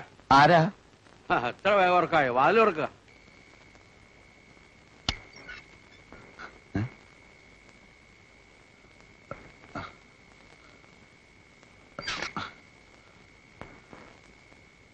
എന്താ പീതാംബര. ഇങ്ങോട്ട് വന്നേ. സംഗതി ആകെ നാറ്റക്കേസായി അവൻ സെസിലിയെ ഉപേക്ഷിച്ചു. ആ ബോട്ടുകാരൻ ഫ്രെഡി അല്ലാണ്ടാരാ? അവളെ വിളിച്ചോണ്ട് പോയെടുത്ത് എന്നെ ഇറക്കി വിട്ടച്ച് അവൻ ബോട്ടോടിച്ചു പോയി. അവറാച്ചന്റെ ആളായിരുന്നു അവൻ. കട പൂട്ടിച്ചൻ എന്നോട് പകരം വീട്ടിയതാ. ഞാനും ദേവനും കൂടി അവിടെ ചെന്ന് ശകലം പ്രശ്നം ഉണ്ടാക്കി. ദേവനെ പോലീസ് പിടിച്ചോണ്ടുപോയി പീതാംബരൻ എന്തെങ്കിലും ചെയ്തേ പറ്റൂ. ഇവന്റെ തള്ള അവിടെ കിടന്ന് അലമുറ ഇടുക. ഞാൻ എന്താണ് ചെയ്യേണ്ടത്? പീതാംബരനെ എന്തെങ്കിലും ചെയ്യാൻ പറ്റൂ. ഞാൻ സിസിലിയോട് കാര്യങ്ങൾ ചോദിച്ചു. ഫ്രെഡിക്ക് അവളെ ഇഷ്ട. അവറാച്ചന്റെ നിർബന്ധം കൊണ്ടെങ്ങാനും അവൻ ഈ വൃത്തിയുടെ കാണിച്ച അവനെ തരുള്ളൂ എസ് ഐ ജംബോ ജമാലുമായിട്ട് പിതാമ്പന്റെ അടുപ്പത്തിലാണല്ലോ. അവനെ കൊണ്ട് ഫ്രെഡിയെ ഒന്ന് വരട്ടിച്ചാൽ മതി. അപ്പൊ കാര്യം ചെയ്യും പിന്നെ ദേവനെ ജാമ്യത്തിൽ ഇറക്കും അവനെങ്ങും വരുന്നില്ല. ഉണ്ടായതൊന്നും പോരെ. ഇനിയും കൊണ്ടേ തല്ലു ഒളിപ്പിക്കണോ? ജോക്കിയുടെ വിഷമം മനസ്സിലാവാഞ്ഞിട്ടല്ല. ഇപ്പൊ ഞാൻ ഇറങ്ങി വന്നാൽ എന്ത് വിഷമിക്കും. ഓഹോ ഒരു അടിയന്തര പ്രശ്നം വന്നപ്പോ ഇതാണോ നിന്റെ പ്രതികരണം? ഇനിയിപ്പോ നമ്മൾ എന്തിനാ നിൽക്കുന്നത്? നിൽക്കണേ നമുക്ക് പോവാം. ആടാ വേറെ എന്തെങ്കിലും മാർഗം നോക്കാം വാ. പീതാംബര.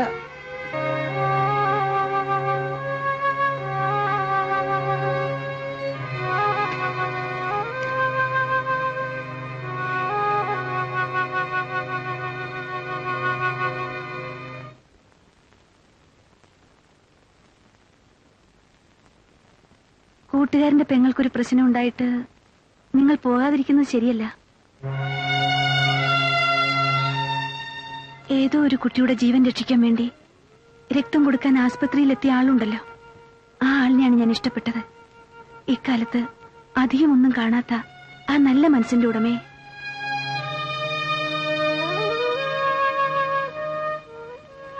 ഒരു ഭാര്യ ഉണ്ടായെന്ന് വെച്ച് ആ സ്വഭാവം ഒന്ന് മാറ്റണമെന്ന് ഞാൻ പറയില്ല. പക്ഷേ അമ്മ ജീവിതകാലം മുഴുവൻ കാത്തിരുന്നത് പോലെ എന്നെ ഒരു കാത്തിരിപ്പുകാരിയായ ഭാര്യയായി മാറ്റരുത്. അത്രേ ഉള്ളൂ. ഒരു ജോലി എന്തായാലും വേണം. പക്ഷേ നിങ്ങൾ നിങ്ങളായി ജീവിക്കുന്നതാണ് എനിക്കിഷ്ടം. ചെല്ലേ. ചെല്ലേ.